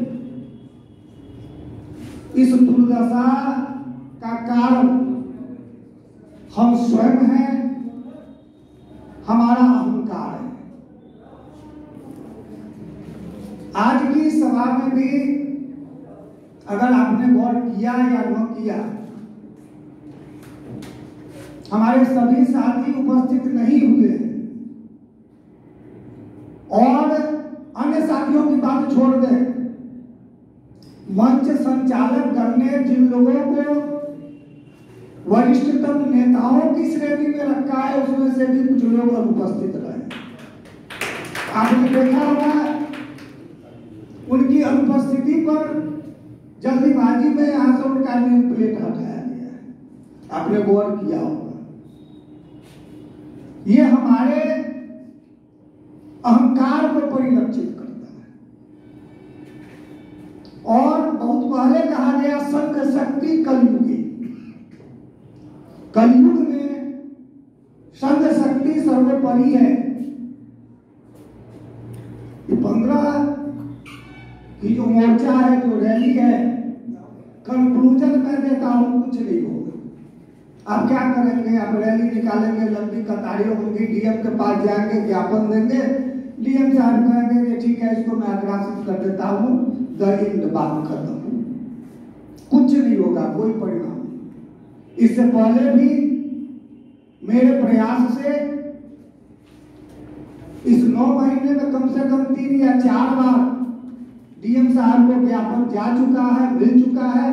विभिन्न संगठनों के माध्यम से मैंने अप्रैल से इसमें विभिन्न संगठनों के लोगों को मैसेज करके, फ़ोन करके, दबाव बना के जहाँ भी हुआ कोचिंग के शिक्षक के रूप में जब हुआ, उसमें भी मैं उपस्थित रहा। प्राइवेट स्कूल एसोसिएशन की सभा हुई, उसमें भी मैं उपस्थित रहा। वो दो आदमी की सभा हुई, दस आदमी की सभा हुई, दो सौ आदमी की सभा हुई। किसकी सभा है? कौन एसोसिएशन है? कौन मंच है इससे मुझे कोई मतलब नहीं रहा। शिक्षकों की आवाज़ को जिस किसी ने भी जहाँ कहीं भी उठाई और मुझे अगर जानकारी हुई है तो मैं उसमें उपस्थित रहा हूँ। लेकिन इसका परिणाम सफल रहा। चूँकि देखिए बहुत पहले कहा गया जिसकी शपथ लेनी होगी, अगर आंदोलन करना चाहते बहुत पहले कहा कि जंजीर टूटती कभी ना सुधार से दुख दर्द दूर भागते नहीं दुलार से ये जो जंजीर है, ये जो सरकार की नीति है, ये आपके ये ज्ञापन देने से और अनुनय करने से और विनय करने से कभी भी समाप्त नहीं हो सकती। इसके लिए आपको लड़ना होगा। अपने अंदर दिनकर की उन पंक्तियों से प्रेरणा लेना होगा पीछे जाके जब इच्छुदंड बहती रस की धारा, मेहंदी जब सहती है प्रहार बनती ललनाओं का सुधार। जब भूल पिरोए जाते हैं, हम उसको गले लगाते हैं। वसुधा का नेता कौन हुआ, अद्वितीय नेता कौन हुआ नव धर्म प्रणेता कौन किया? जिसने न कभी आराम किया विघ्नों से लड़कर तो अगर आप लड़ने के लिए तैयार हो आज अगर आप ये शपथ लें, अपने अंदर ये प्रेरणा भरें कि हमको लाल कोठी से भी परहेज नहीं है, लाल कोठी में भी जाने के लिए तैयार हो जो हैं। आवाज़ इसलिए नहीं उठ रही है कि विदेशों में डर है, मैं बोलूँगा तो लाल कोठी में चला जाऊँगा, ये डर है। इस डर से नहीं बोलते हैं, इस डर से आगे नहीं आते हैं, इस डर से सामने आने के लिए तैयार नहीं है। तो इस डर को लाल कोठी के अंदर अगर हम जाते हैं, अगर जाएँगे तो क्या रेप केस में जाएँगे? क्या हम पर रेप केस हुआ है? उसके कारण जाएँगे। अपने अधिकार के लिए जाएँगे, अपने सम्मान के लिए जाएँगे। और यदि अपने अधिकार के लिए जाते हैं, अपने सम्मान के लिए जाते हैं तो ये हमारे लिए गौरव की बात है, गर्व की बात है लज्जा की बात नहीं है। उसके लिए भी, जेल में भी आदमी नहीं जाता है। उसके लिए भी आपको तैयार रहना पड़ेगा। अगर इस चीज़ जो सरकार जैसा कहा एस एस राज जी ने जैसा कहा, ये अब कोई कोरोना के कारण विद्यालय बंद नहीं है। अब बड़ी बड़ी पूंजीपति कंपनियों नेट की कंपनियों बाईजूस वेदांता और विभिन्न नेट की कंपनियाँ इसको बंद करके रखी हुई है ताकि उनका डाटा बैंक ज़्यादा से ज़्यादा बढ़वाया जा सके, उनके डाटा की ज़्यादा से ज़्यादा बिक्री हो सके। विद्यालय को कोरोना के कारण बंद नहीं रखा गया। सिनेमा हॉल खुल गए मॉल खुल गए जिम खुल गए स्विमिंग पूल खुल गए। बहुत अच्छी डिबेट हुई थी। यूट्यूब पर उपलब्ध है। सीबीएसई के एग्जामिनेशन कंट्रोलर सौरभ भारद्वाज जी का एक डॉक्टर अग्रवाल के साथ डिबेट हुआ था। उस डिबेट को आप यूट्यूब पर देख सकते हैं। जिसमें डॉक्टर साहब ने कहा कि तेरह साल के बच्चों में कोरोना आप भी देख रहे हैं, पूरे वर्ल्ड का डाटा देख रहे हैं। आप एक एग्ज़ाम्पल उनको दें जहाँ ये डाटा आया हो कि तेरह साल से कम उम्र के बच्चे कोरोना संक्रमित तो हुए। या तेरह साल से कम उम्र के बच्चे की कहीं मृत्यु हुई कोरोना के कारण। पूरे विश्व में डॉक्टर अग्रवाल के अनुसार तेरह साल के बच्चों में कोरोना के संक्रमण की कोई संभावना ही नहीं और फिर, बंद क्या है वो विद्यालय? बंद क्या है वो विद्यालय? इसलिए ये मोर्चा ने पहल किया है। विभिन्न संगठनों को छोड़ के एक अलग इससे लड़ाई के लिए आगे आया है। मेरी शुभकामना है। और आप सबों से, आप सारे निदेशकों से एक ही विनती है कि भाई कुछ दिनों के लिए इस विपरीत काल में भी कम से कम अपने अहम को, अपने अहंकार को थोड़ा सा साइड आप कर दें और इस आंदोलन को सफल बना दें ताकि हमको जीविकोपार्जन का साधन मिल सके फिर से। फिर से स्थापित हो सके। जब स्थापित हो जाइएगा तो फिर अपने अंदर वो अहंकार बैठा के रिवॉल्विंग चेयर पर घूमते रहिएगा, कोई दिक्कत नहीं है। अदरवाइज़ आपका रिवॉल्विंग चेयर आपसे दूर होने जा रहा है। जय हिंद, जय भारत, जय श्री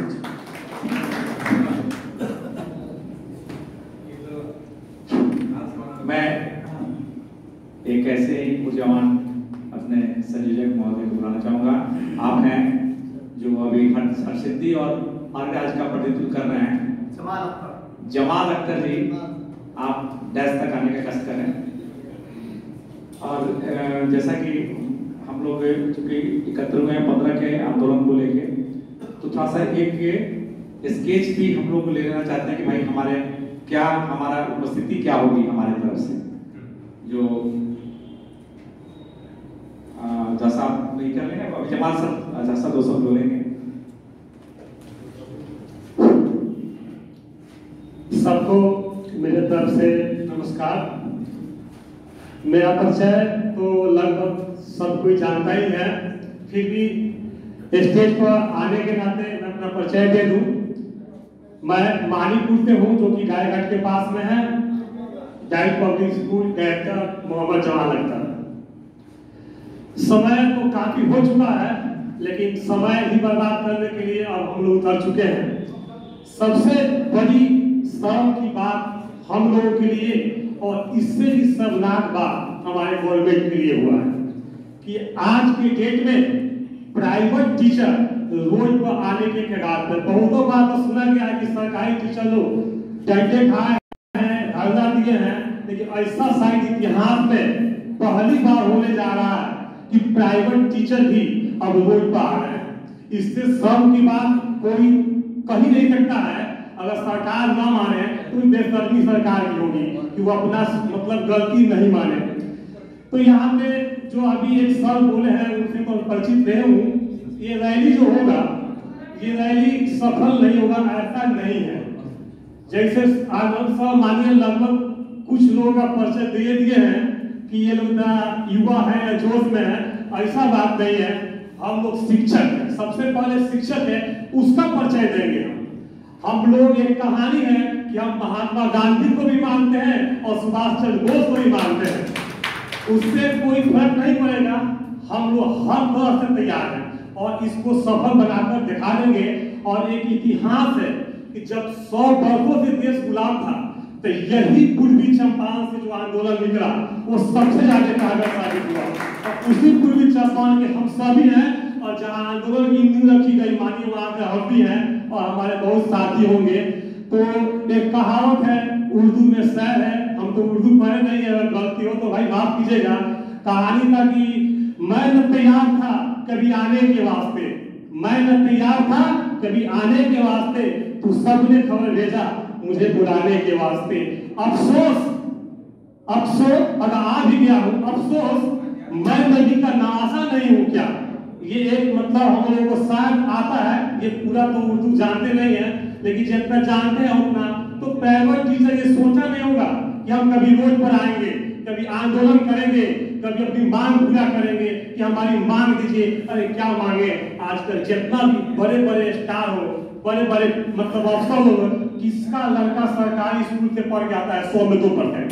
बाकी टोटल हम ही सब टीचरों के बदौलत कोई इंजीनियर कोई डॉक्टर कोई कलेक्टर कोई एसपी बन के आता है। इतना आसान भी नहीं है कि प्राइवेट टीचर पे लाठी चार्ज कर दे, क्योंकि अगर डीएम डीएम आदमी होगा तो वो भी समझेगा एसपी आदमी होगा वो भी समझेगा। आज हम लोग प्रिंसिपल हो गए डायरेक्टर हो गए, या बड़े स्कूल हो या छोटे स्कूल हो, हम लोग ही पैदा करते हैं। ए बी सी ये नहीं कि कोई बड़ा फाइव स्टार होटल की तरह कोई स्कूल है, वहाँ एक जे तक नहीं होता है, बल्कि कहीं और अदर वर्ड आता हो, छब्बीस के बदला, तीस आता हो। नहीं, हर टीचर ए से शुरुआत करता है क से करता है, अली बे करता है वन टू करता है, इससे ही सबका शुरुआत होता है। तो हम ये कहते हैं कि ये रैली पंद्रह को हम लोग होगा और जितना संख्या होगा उतना हम लोग अपना पहला दिन देंगे और पीछे हम लोग नहीं हटेंगे। हम लोग आगे चलेंगे, जैसे आनंद सरकार, युवा लोग, हम लोग हर मोर्चे के लिए कुछ लोग है जो आगे चलने के लिए तैयार है। बस आप लोग पीछे से हाथ चाहिए। हिम्मत है सो लोग लोग धमकी से हम डरते नहीं। अपना लहू कहता है वीर है, हम मरते नहीं। सब बोले हैं कि हम कोई रेप केस में जाएँगे। ऐसा नहीं है कि मोतियारी बेटी हम लोग जेल में धर देंगे। धर देंगे क्या कर लेंगे आज वो हाल है हम सबों का तो जिम्मा नहीं लेते हैं। वो छोटे स्कूल का बात हम कर रहे हैं कि जो आज अंदर से रो रहा है, किसी के पास पैसा है, मान ले कि मैं बैठ गया कोई डॉक्टर है, कोई फोर्स है, ऐसे है तो मेरा काम चल जाएगा। तो कुछ ऐसा स्कूल है जो स्कूल में पूरा अपना पैसा इन्वेस्ट कर दिया है। कोई गाड़ी निकाल लिया, कोई बिल्डिंग बना लिया, कोई ज़मीन खरीद लिया और आज उसको ईएमआई भरने के लिए पैसा नहीं है। फ़ोन आ रहा है कि ई एम भरिए। नहीं तो आपका गाड़ी खींच लेंगे, दरवाजे आ जाएँगे। जो सब लोग लाज के मारे अपना गहना गिरवी रख रहा है, जो ज़मीन है उसको बेच रहा है। क्या कोना सिंगल प्राइवेट स्कूल के ही है? बंद कर दो या पार्सनल स्कूल, कोई बात नहीं है। दस साल कोना है, बंद करो। ये तो जागरूकता है, सब कोई जानता है, लेकिन बंद करो। लेकिन प्राइवेट स्कूल का भी कुछ व्यवस्था करो।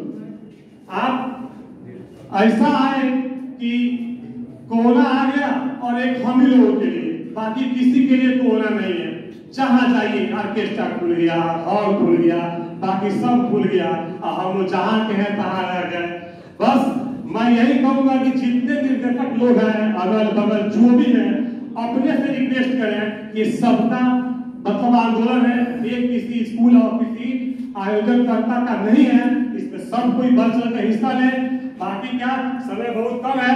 मैं अपने बात को यही समाप्त करता हूँ। जय हिंद, जय भारत। मैं मंच पे अभिलाषा जी को आमंत्रित करता हूँ। या पाए और दोस्त, कम शब्दों में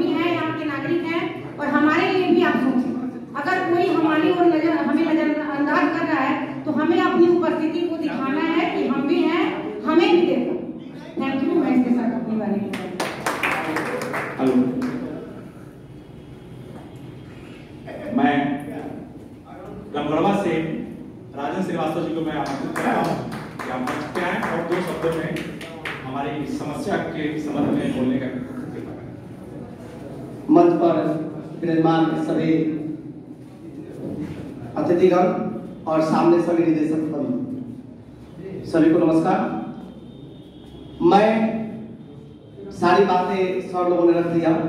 मैं भी रखी सर लोग भी रखे तीन बात पर ही हम लोगों को फोकस करना है। अभी की डेट में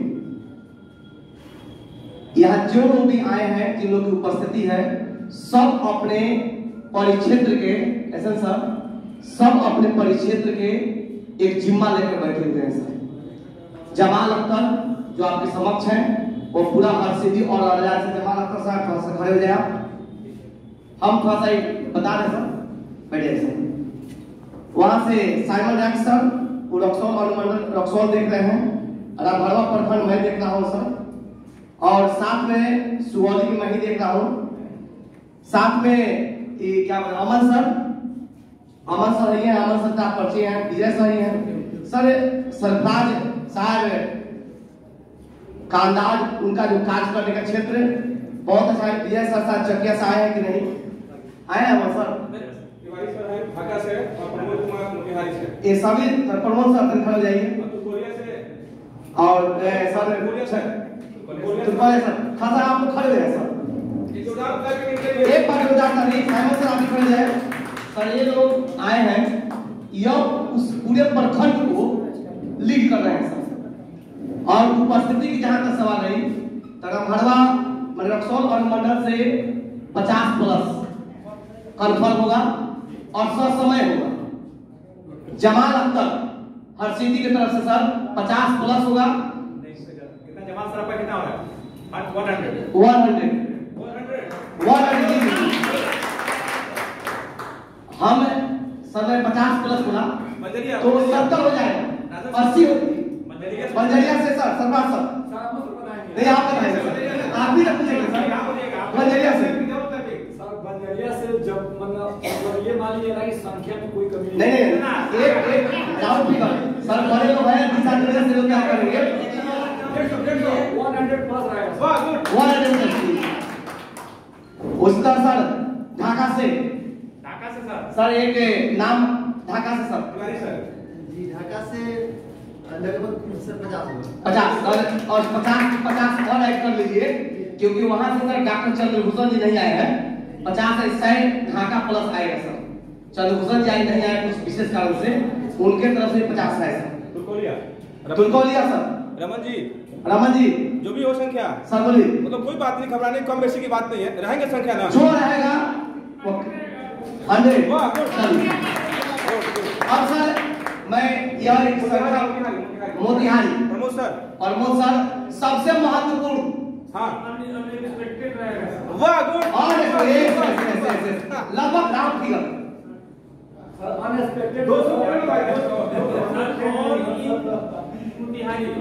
सर देखिए हम लोग हम लोग 40 किलोमीटर 50 किलोमीटर दूर से आ रहे हैं। और ये मैं मुझे पूर्ण उम्मीद है कि मोतिहारी दो दो सौ दो सौ।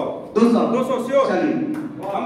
अब इस समय से हाँ साहब हम जिस मुद्दे पर थे उस मुद्दे पर थोड़ा सा आ जाए सर इस समय से हम सभी को जितने लोग हम लोग आए हैं यहाँ पर जो उपस्थित हैं राजू सर आप नहीं बताया है आपके तरफ़ से मैं भी मोतिहारी से हूँ हाँ। और हमारे सर रघुनाथपुर से आप सर। आप मोतिहारी रघुनाथपुर में आते हैं रघुनाथपुर से बताया जाए सर। रघुनाथपुर मोतिहारी में पड़ता है सर 200 प्लस रखिए। बहुत बोलिए हो गया हो गया। हो गया बस बस हो गया। तो यह सर राउंड फिगर से संख्या हुई अब जो एक मिनट एक वहाँ से बड़ा बरियारपुर से विवेक जी हैं उनसे भी थोड़ा सा जी विवेक जी। बोला आप तो उस दिन बहुत जोश में थे। अब जोश का समय आ गया। आज भी जोश में है आज भी जोश आज भी जोश है सर बताया जाए टेन प्लस मोतिहारी शहर में आता है। मोतिहारी शहर से तो हम मोतिहारी में दो सौ तो दो सौ प्लस हो गया सर। चलिए। अब इसमें अब बता दो वही उसी बात अब सबसे बड़ी योगदान रहा। सर ये आप लोग अपने आपस में लिए विजय सर उस सर बताएँगे सर सर मतलब बोल दीजिए। सर सब उस हम बता देते हैं सर। सबसे पहले तो मैं विनय सर को मैं थोड़ा सा इस तरह ध्यान आकृष्ट करूँगा क्योंकि अब देख रहे हैं कि अब ग्रामीण क्षेत्र से इस तरह की तादाद बढ़ती जा रही है। अब सर उस कंपटीशन में तो हम लोग दौड़ नहीं पाएँगे लेकिन लेकिन एक बात है सर हमारे पास जो है घर से लेकर के गेट तक।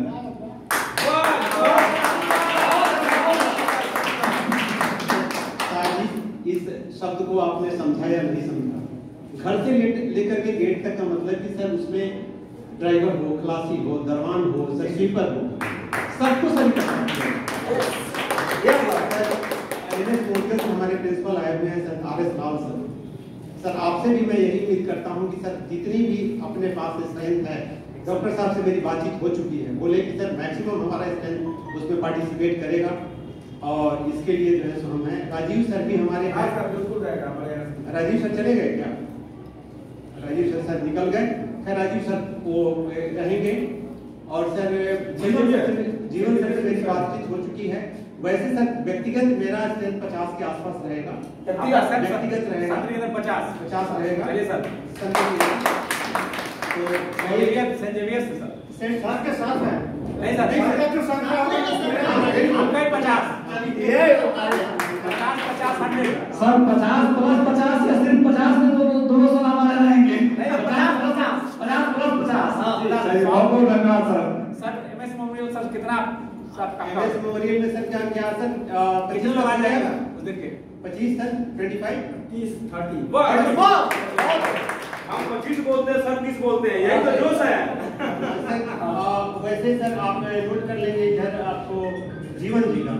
जीवन जीवन जी से मेरी स्ट्रेंथ के बारे में बातचीत नहीं हुई है लेकिन मैं उम्मीद करता हूँ उनके यहाँ से थर्टी प्लस में होना चाहिए। थर्टी मान थर्टी मान थर्टी प्लस होना चाहिए। राजीव जी के यहाँ से भी आप सर ट्वेंटी स्टाफ उनको भी मानेंगे? ट्वेंटी हाँ कैम्ब्रिज कैम्ब्रिज सर कैम्ब्रिज से। कैम्ब्रिज सर आए हैं ठाकुर सर निकल गए क्या? हाँ, ठाकुर सर निकल गए। तो खैर ठाकुर सर के यहाँ से मैं बात कर लेता हूँ। उनके यहाँ मुझे लगता है दस प्लस में होना चाहिए दस से कम नहीं होगा। Sir Arya Arya Vidyapeeth sir. Sir आप बता दीजिए।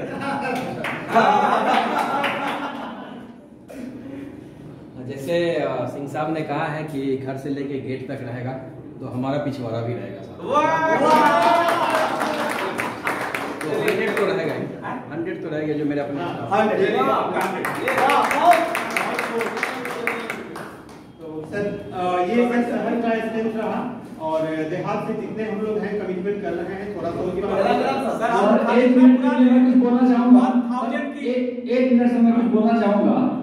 हम सभी साथी जितने जोश खरोश के साथ हम लोग उस प्रदर्शन के लिए तैयार हो रहे हैं। तो मैं अपनी तरफ़ से एक इसके बाद मतलब पंद्रह तारीख के बाद इस पंद्रह तारीख का जो रैली होगा उस रैली को सफल बनाने के बाद जो भी हमारे मित्र या हमारे निदेशक महोदय एक्टिव रूप से अच्छे तरह से रोल निभाएँगे एक अ, क्या बोलते हैं उसको? सम्मान। समारोह होगी उसमें मेरे तरफ़ से एक बेहतरीन गिफ्ट होगा सम्मान समारोह में।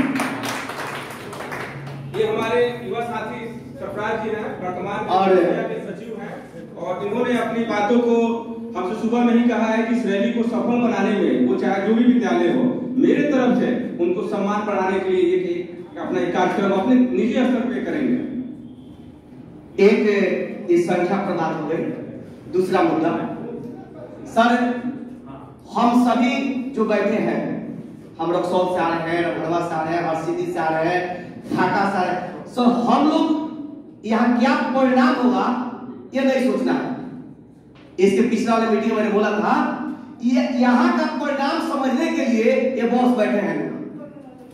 यहाँ जो होने वाला है, ये बॉस को बैठे हैं कि यहाँ प्रशासन से कैसे निपटना है, किसके पास जाना है, बस हमें अब अपना दम खम। अभी सर मेरे पे बहुत अज़ीज़ साथी राजेश सिंह नहीं आए हैं।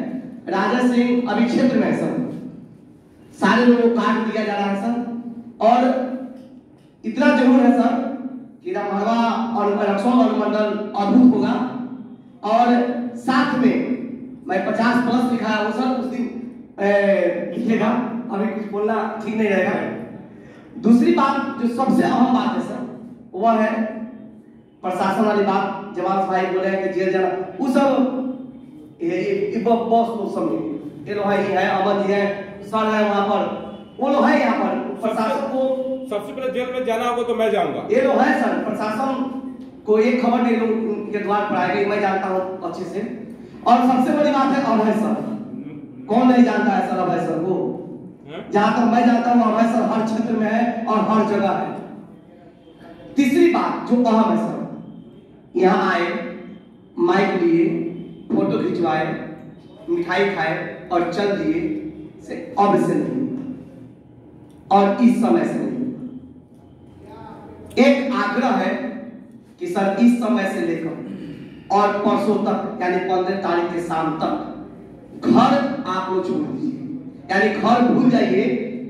आप लोग आज जाकर सब्ज़ी वब्जी जो खरीदना है, सब एक बार खरीद कर रख दीजिए। लेकिन इस समय से, सर प्लीज़ आप कल सुबह अगर चलते हैं ना तो पंद्रह का रैली कैसे सफल हो, इसमें सबकी प्रतिष्ठा जाएगी।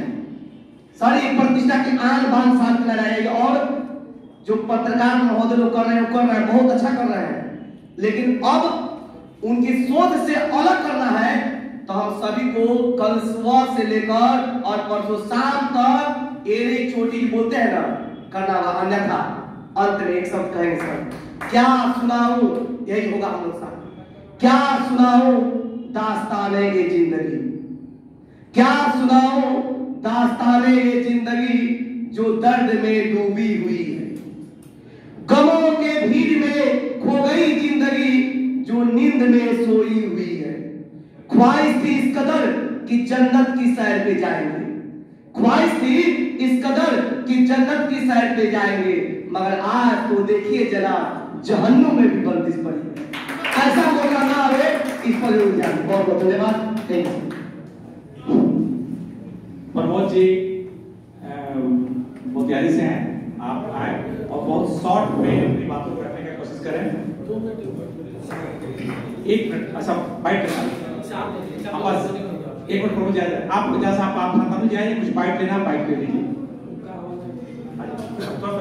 आप बाइट लेते हैं क्या बैठा है दो सवा दो मिनट रुक रहे हैं।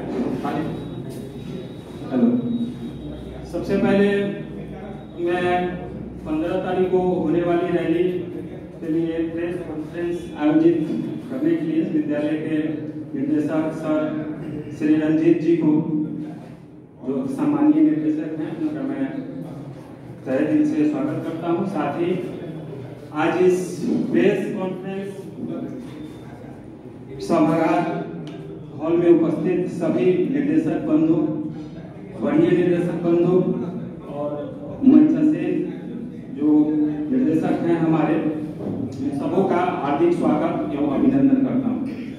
कहने के लिए बहुत कुछ है, लेकिन ज़्यादा नहीं कहूँगा, समय भी कम है और मुझे लगता है कि सभी लोगों ने जो मूल समस्या है और उसी से सारी समस्या है। सभी लोगों ने उस पर प्रकाश डाल दिया है। अंग्रेज़ों का जो शासन था 200 वर्षों का, भारत में, और उनको भगाने के लिए गांधी जी ने, जिन्हें as a not only citizen of India is also known as all over as a non citizen all over world पूरे हिंदुस्तान में चंपारण को चुना। इसलिए चंपारण की धरती में कुछ ना कुछ तो है। इसलिए अपने आंदोलन को, कर्मभूमि को, चंपारण की धरती को बनाया। इसलिए कहीं ना कहीं इस धरती के प्रति हम लोग कृतज्ञ हैं। और निजी विद्यालय संघर्ष समिति के सभी निर्देशक जो निजी विद्यालय संघर्ष मोर्चा के नाम से परसों आयोजित होने वाली जो हमारा रैली है, उसमें शामिल होने के लिए हम लोग यहाँ एकत्रित हुए हैं।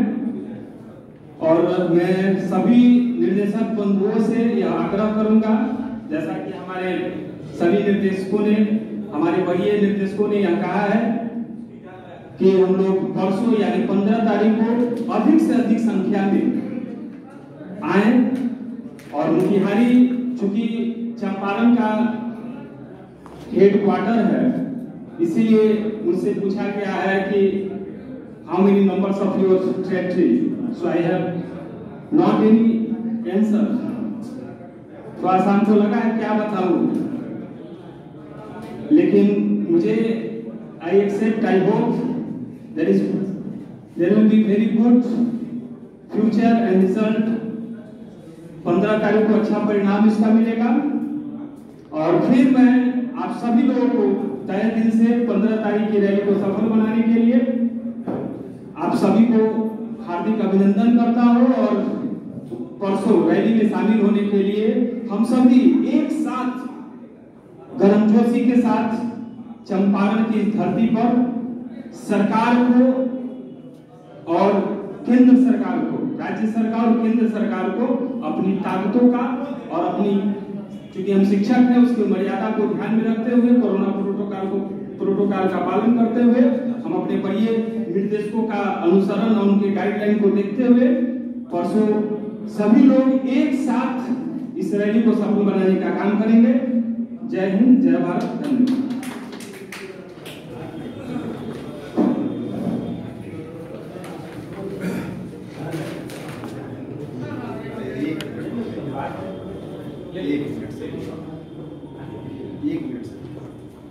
मैं हवाई जी को आमंत्रित करता हूँ कि अपने विचार पर रखें। धन्यवाद हेलो हेलो आवाज़ आ रही है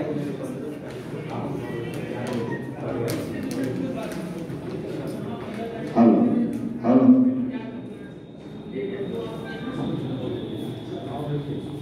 एक मिनट से भी कम में मैं अपनी बात रख दे रहा हूँ चुनिया ने कुछ एक चीज़ यहाँ बैठे बैठे नज़र आया। हम सभी बोलने के लिए बहुत उत्सुक रहे।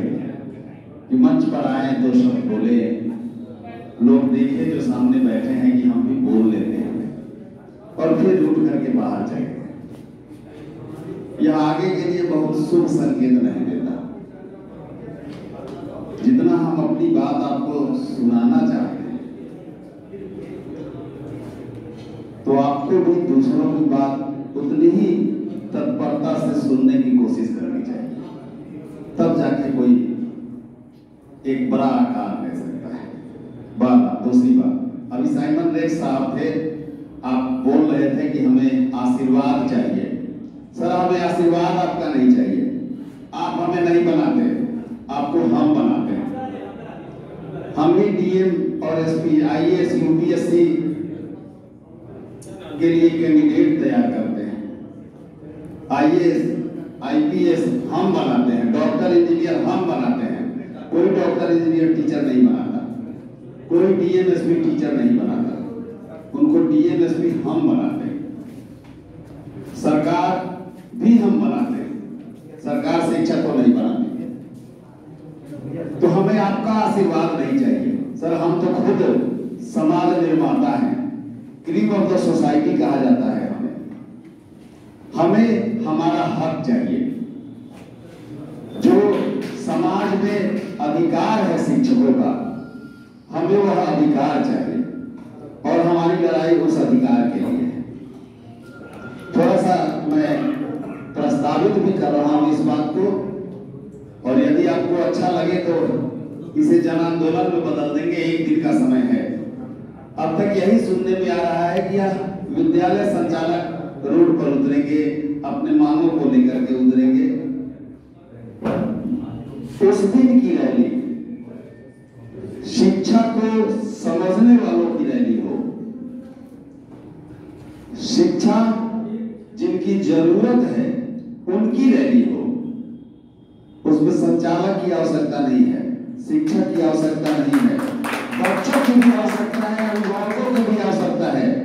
शिक्षक सर एक ऐसा प्रजाति है, बहुत सारे काम है, रिक्शा चलाना, टांगा चलाना, बैंक में काम करते हैं, लोग कलेक्ट्रेट में काम करते हैं।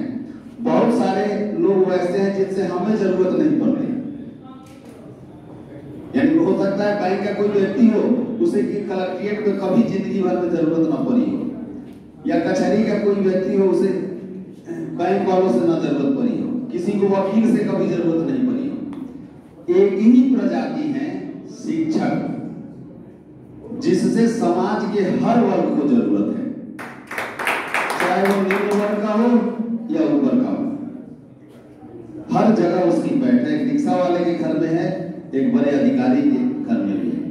तो यह जन आंदोलन शिक्षा की ज़रूरत को महसूस करने वालों का हो। वहाँ हम विद्यालय संचालक हैं, हम टीचर हैं, हम अभिभावक हैं, हम बच्चे हैं।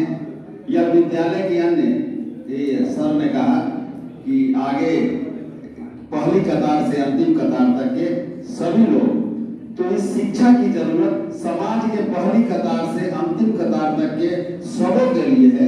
तो हमारा आह्वान सबके लिए हो कि आप सभी आए कंधे से कंधा मिलाकर हमारा साथ दें। धन्यवाद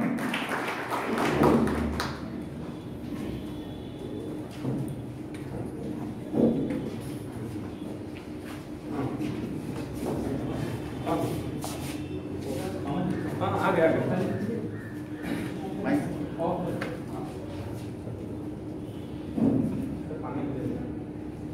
बीएस सर पास एक एक एक मिनट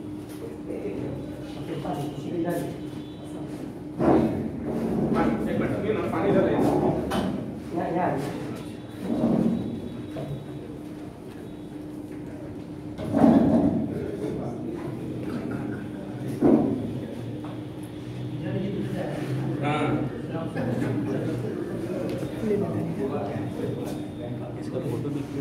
मैं संतोष से अभी हम मौजूद हैं निजी विद्यालय संघर्ष मोर्चा पूर्वी चंपारण की प्रेस कॉन्फ्रेंस पे यहाँ हमारे कुछ निदेशक पद मौजूद हैं आइए इसे जानते हैं कि निजी विद्यालय जो है, जो शिक्षा देने का काम करती थी, अब संघर्ष मोर्चा क्यों खोलना पड़ा? और जो लिखा है इनके बैनर पे पंद्रह दिसंबर को आंदोलन हो रहा है, वो आंदोलन करने की आवश्यकता क्यों पड़ी? जानते हैं। ये जो आंदोलन आप लोग कर रहे हैं, उसके आंदोलन की क्या आवश्यकता पड़ी? सर, समाज के हर कोई भी वर्ग उस वर्ग के लोगों के पेट की आग जब बलवती हो जाती है तो आंदोलन आज शिक्षक एक ऐसा समुदाय है, जो बच्चों को पढ़ाता है, उन्हें बड़ा से बड़ा आदमी बनाता है।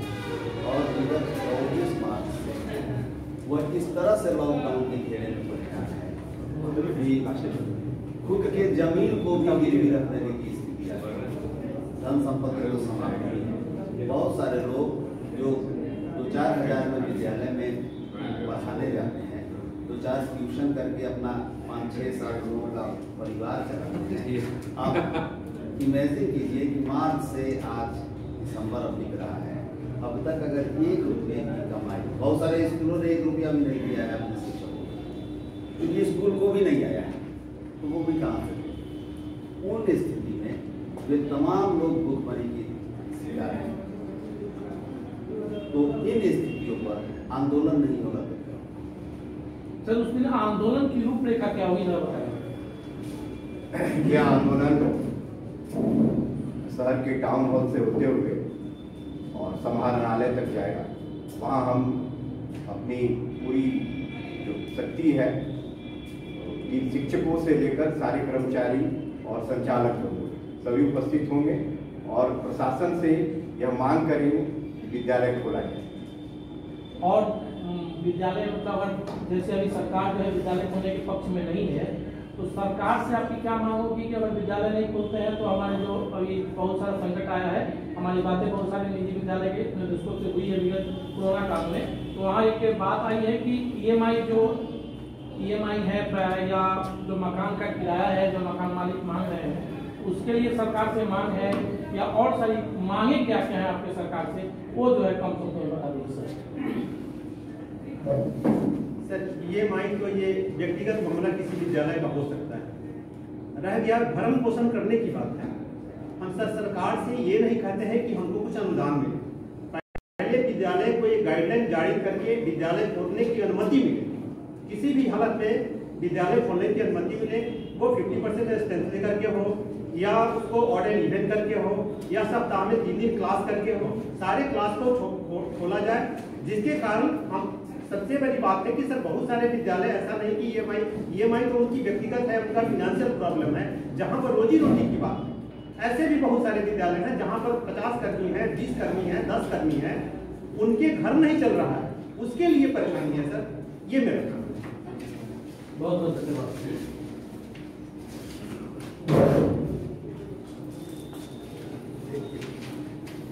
मैं इस प्रांगण में हमारा ये प्रेस कॉन्फ्रेंस चल रहा है।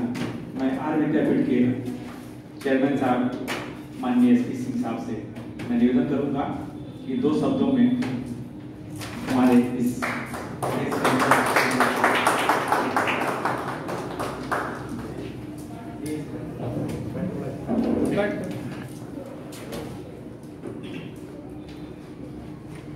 महानुभावों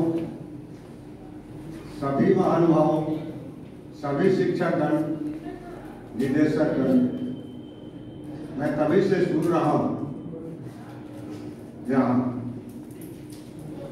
किसी ने कहा कि शिक्षा व्यवसाय किसी ने भरण पोषण की बात की। अच्छी बात है। मनुष्य इस प्रकृति का सबसे बड़ी देन है। Man is crown of creation man is crown of creation और एजुकेशन विद्या के बिना क्या मनुष्य मनुष्य है? मनुष्य विद्या के बिना मनुष्य नहीं। तो हम उनसे विद्या भी नहीं बेचते हैं। हम उन्हें शिक्षित बनाते हैं। विद्या बेचते तो हम क्लास कर लेते और पैसा लेते, घर चले जाते। सिर्फ़ इतना ही नहीं करते। उन्हें पीट कर समझा कर प्रोत्साहित कर शिक्षित बनाते हैं मनुष्य बनाते। हैं समाज में सबसे बड़ी देन यदि किसी समाज की है तो वह शिक्षकों की है।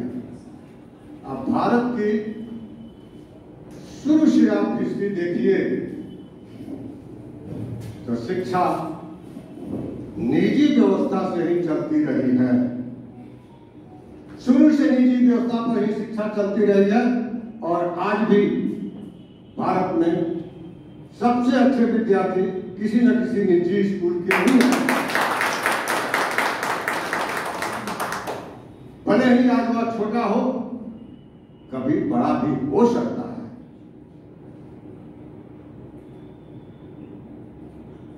आप अपने को छोटा नहीं समझिए, अपने प्रयास को भी छोटा नहीं समझिए और प्रयास ही सफलता दिलाती है। प्रयास करते हैं, सफलता अवश्य मिलेगी।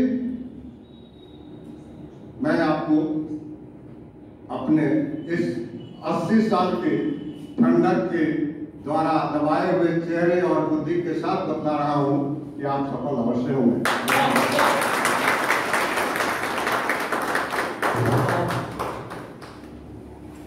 मैं अंत में मैं आमंत्रित करना चाहता हूँ विद्यापीठ के एग्जीक्यूटिव डायरेक्टर माननीय रंजीत सिंह सर को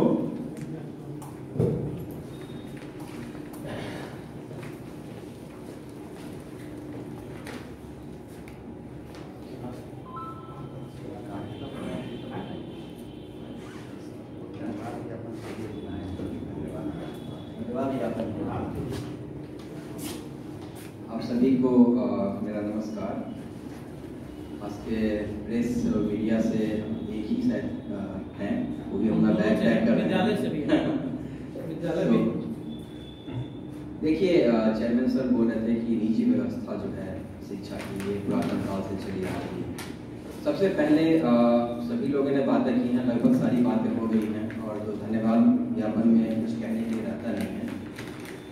मेरे पास कुछ बातें हैं जो नहीं कही गई हैं और मैं उस चीज़ों को सामने लाना चाहता हूँ। अब किसी भी युद्ध को या किसी भी बैटल को जब ही जीत सकते हैं जब आपके अंदर आत्मविश्वास हो। और सबसे बड़ी बात है जो शिक्षक हैं या जो संस्था चलाते हैं अगर आप ये सोच लेंगे कि हम एक व्यवसाय कर रहे हैं या दुकान चल रहे हैं, इस बात को अपने जिसको बोलते हैं सब कॉन्शस माइंड ठीक है? सब कॉन्शस माइंड से हटाना बहुत ज़रूरी है। इतिहास में बहुत लोगों ने सुना होगा, राजा धनंद होते थे और आचार्य चाणक्य। और आचार्य चाणक्य मेरे इतिहास के सबसे फेवरेट कैरेक्टर हैं।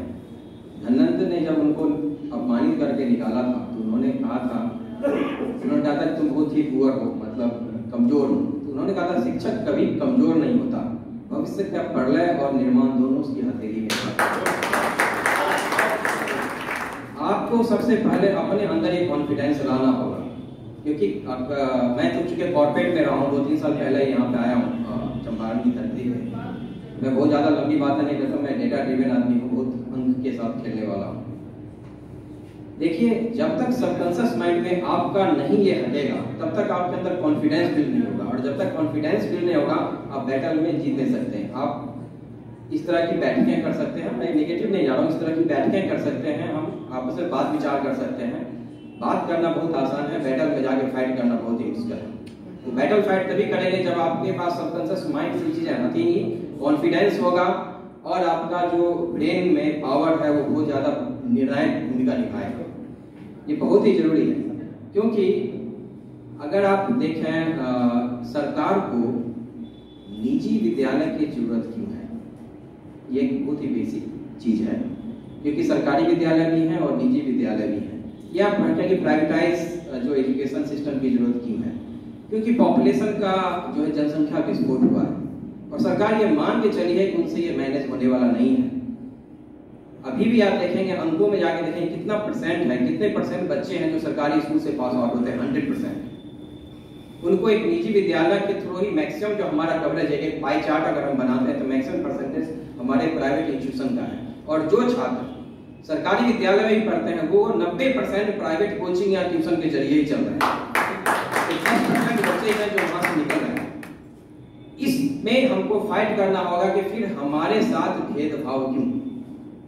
अगर आप निजी विद्यालय के थोड़े और निजी के हाथों में चल रहे हैं, आपकी पूरी शिक्षा व्यवस्था चरमराई हुई है सरकारी की, और आप निजी के हाथ से ही चल रहे हैं तो हमारे साथ भेदभाव क्यों?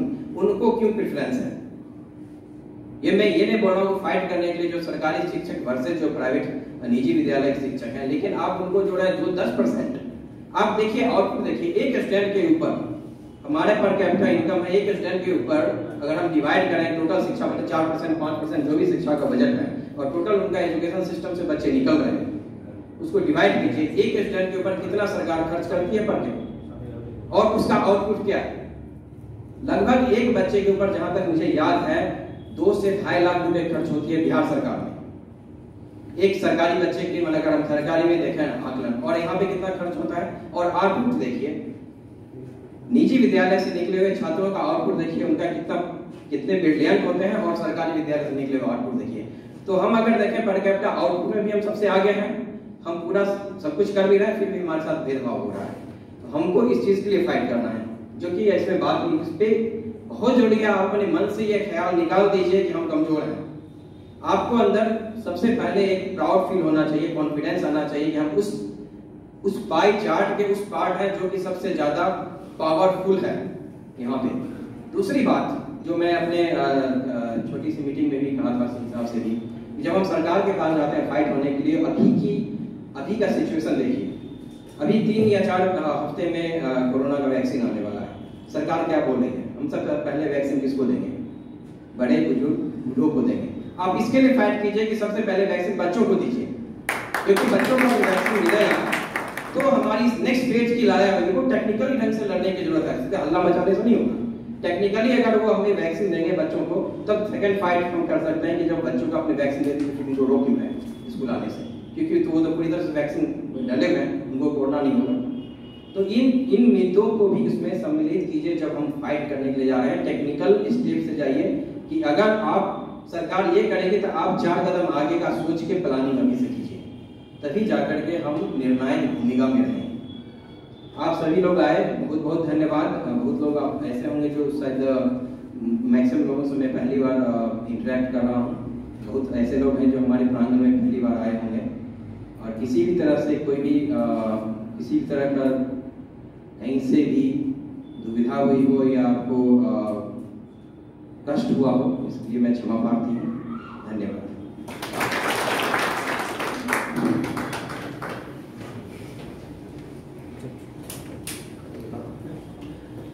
मैं राजनीति को इस व्यवस्था के लिए सहयोग के लिए बहुत बहुत धन्यवाद देता हूँ काफ़ी अच्छी व्यवस्था, काफ़ी अच्छा सब कुछ रहा। कोई कमी नहीं रही अब इससे और क्या उम्मीद करेंगे हम? जो भी है, बहुत अच्छा था। और मैं सारे जो भी हमारे संयोजक साथीगण हैं, और जो मेरे निदेशकगण उपस्थित हैं, क्योंकि पंद्रह की रैली उपस्थिति पर डिपेंड करता है कि हमारी संख्या कितनी होती है। और समय का ख्याल रखा जाए साढ़े ग्यारह के पहले पहुँचने का कोशिश किया जाए सारे लोग पर। विलंब ना किया जाए ये नहीं कि अब साढ़े ग्यारह बारह बजे और साढ़े बारह बारह तो फिर रैली सफल नहीं हो पाएगा। एकदम इस दिमाग को रखना है कि दूर से जो भी लोग आएँगे या नज़दीक जो भी हैं वो साढ़े ग्यारह तक टाउन हॉल में ज़रूर चले जाए। हमारी उपस्थिति जब आएगी साढ़े ग्यारह के बाद हम लोग जैसा होगा वो उसके हिसाब से हम करेंगे इसलिए समय का ख्याल रखा जाएगा और ग्यारह साढ़े ग्यारह से साढ़े ग्यारह के बीच। एकदम समय निर्धारित ग्यारह से साढ़े ग्यारह के बीच में। और संख्या पुराने के लिए हम सब जानते हैं कि भाई, उस दिन सबसे करवट गिनती है आप, अगर आपने विद्यालय किसी कार्यवश खोल भी रखा है तो बंद रखेंगे उस दिन। उस दिन उस दिन सारा काम बंद रखा जाए और अपने एम्प्लॉय को टीचर्स को, उस दिन शरीक किया जाए। हमारी संख्या उसी से पूरा हो जाए।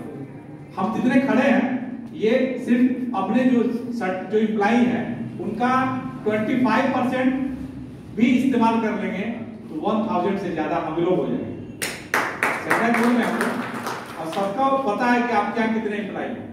सबको पता है। बड़े, छोटे, छोटी स्कूल वाले, सबको पता है कि मिनिमम भी संख्या है तो पाँच, सात, दस से कम किसी के पास नहीं और बाकी तो जो है महारथी है हमारे इसमें एक के पास पचास पचास, सौ सौ इम्प्लाई है।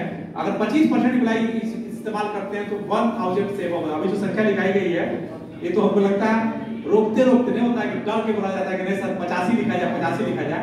उस स्थिति में आपका ये एक हज़ार एक हज़ार से ज़्यादा संख्या है। इसमें अभी बहुत से लोगों ने नहीं लिखा। हमने नहीं लिखा। अभी अब बहुत सारे जो जिनकी संख्या नहीं लिखी गई। तो बस अगर वन थाउज़ेंड हो जाते तो ये रैली सफल हो जाता। है और होगा ये हम देख रहे हैं कि होगा। बस इन्हीं शब्दों के साथ मैं अपना शब्द को विराम देता विराम देता हूँ। मैं थोड़ा सा हाँ सब मीटिंग ओवर है। ही है।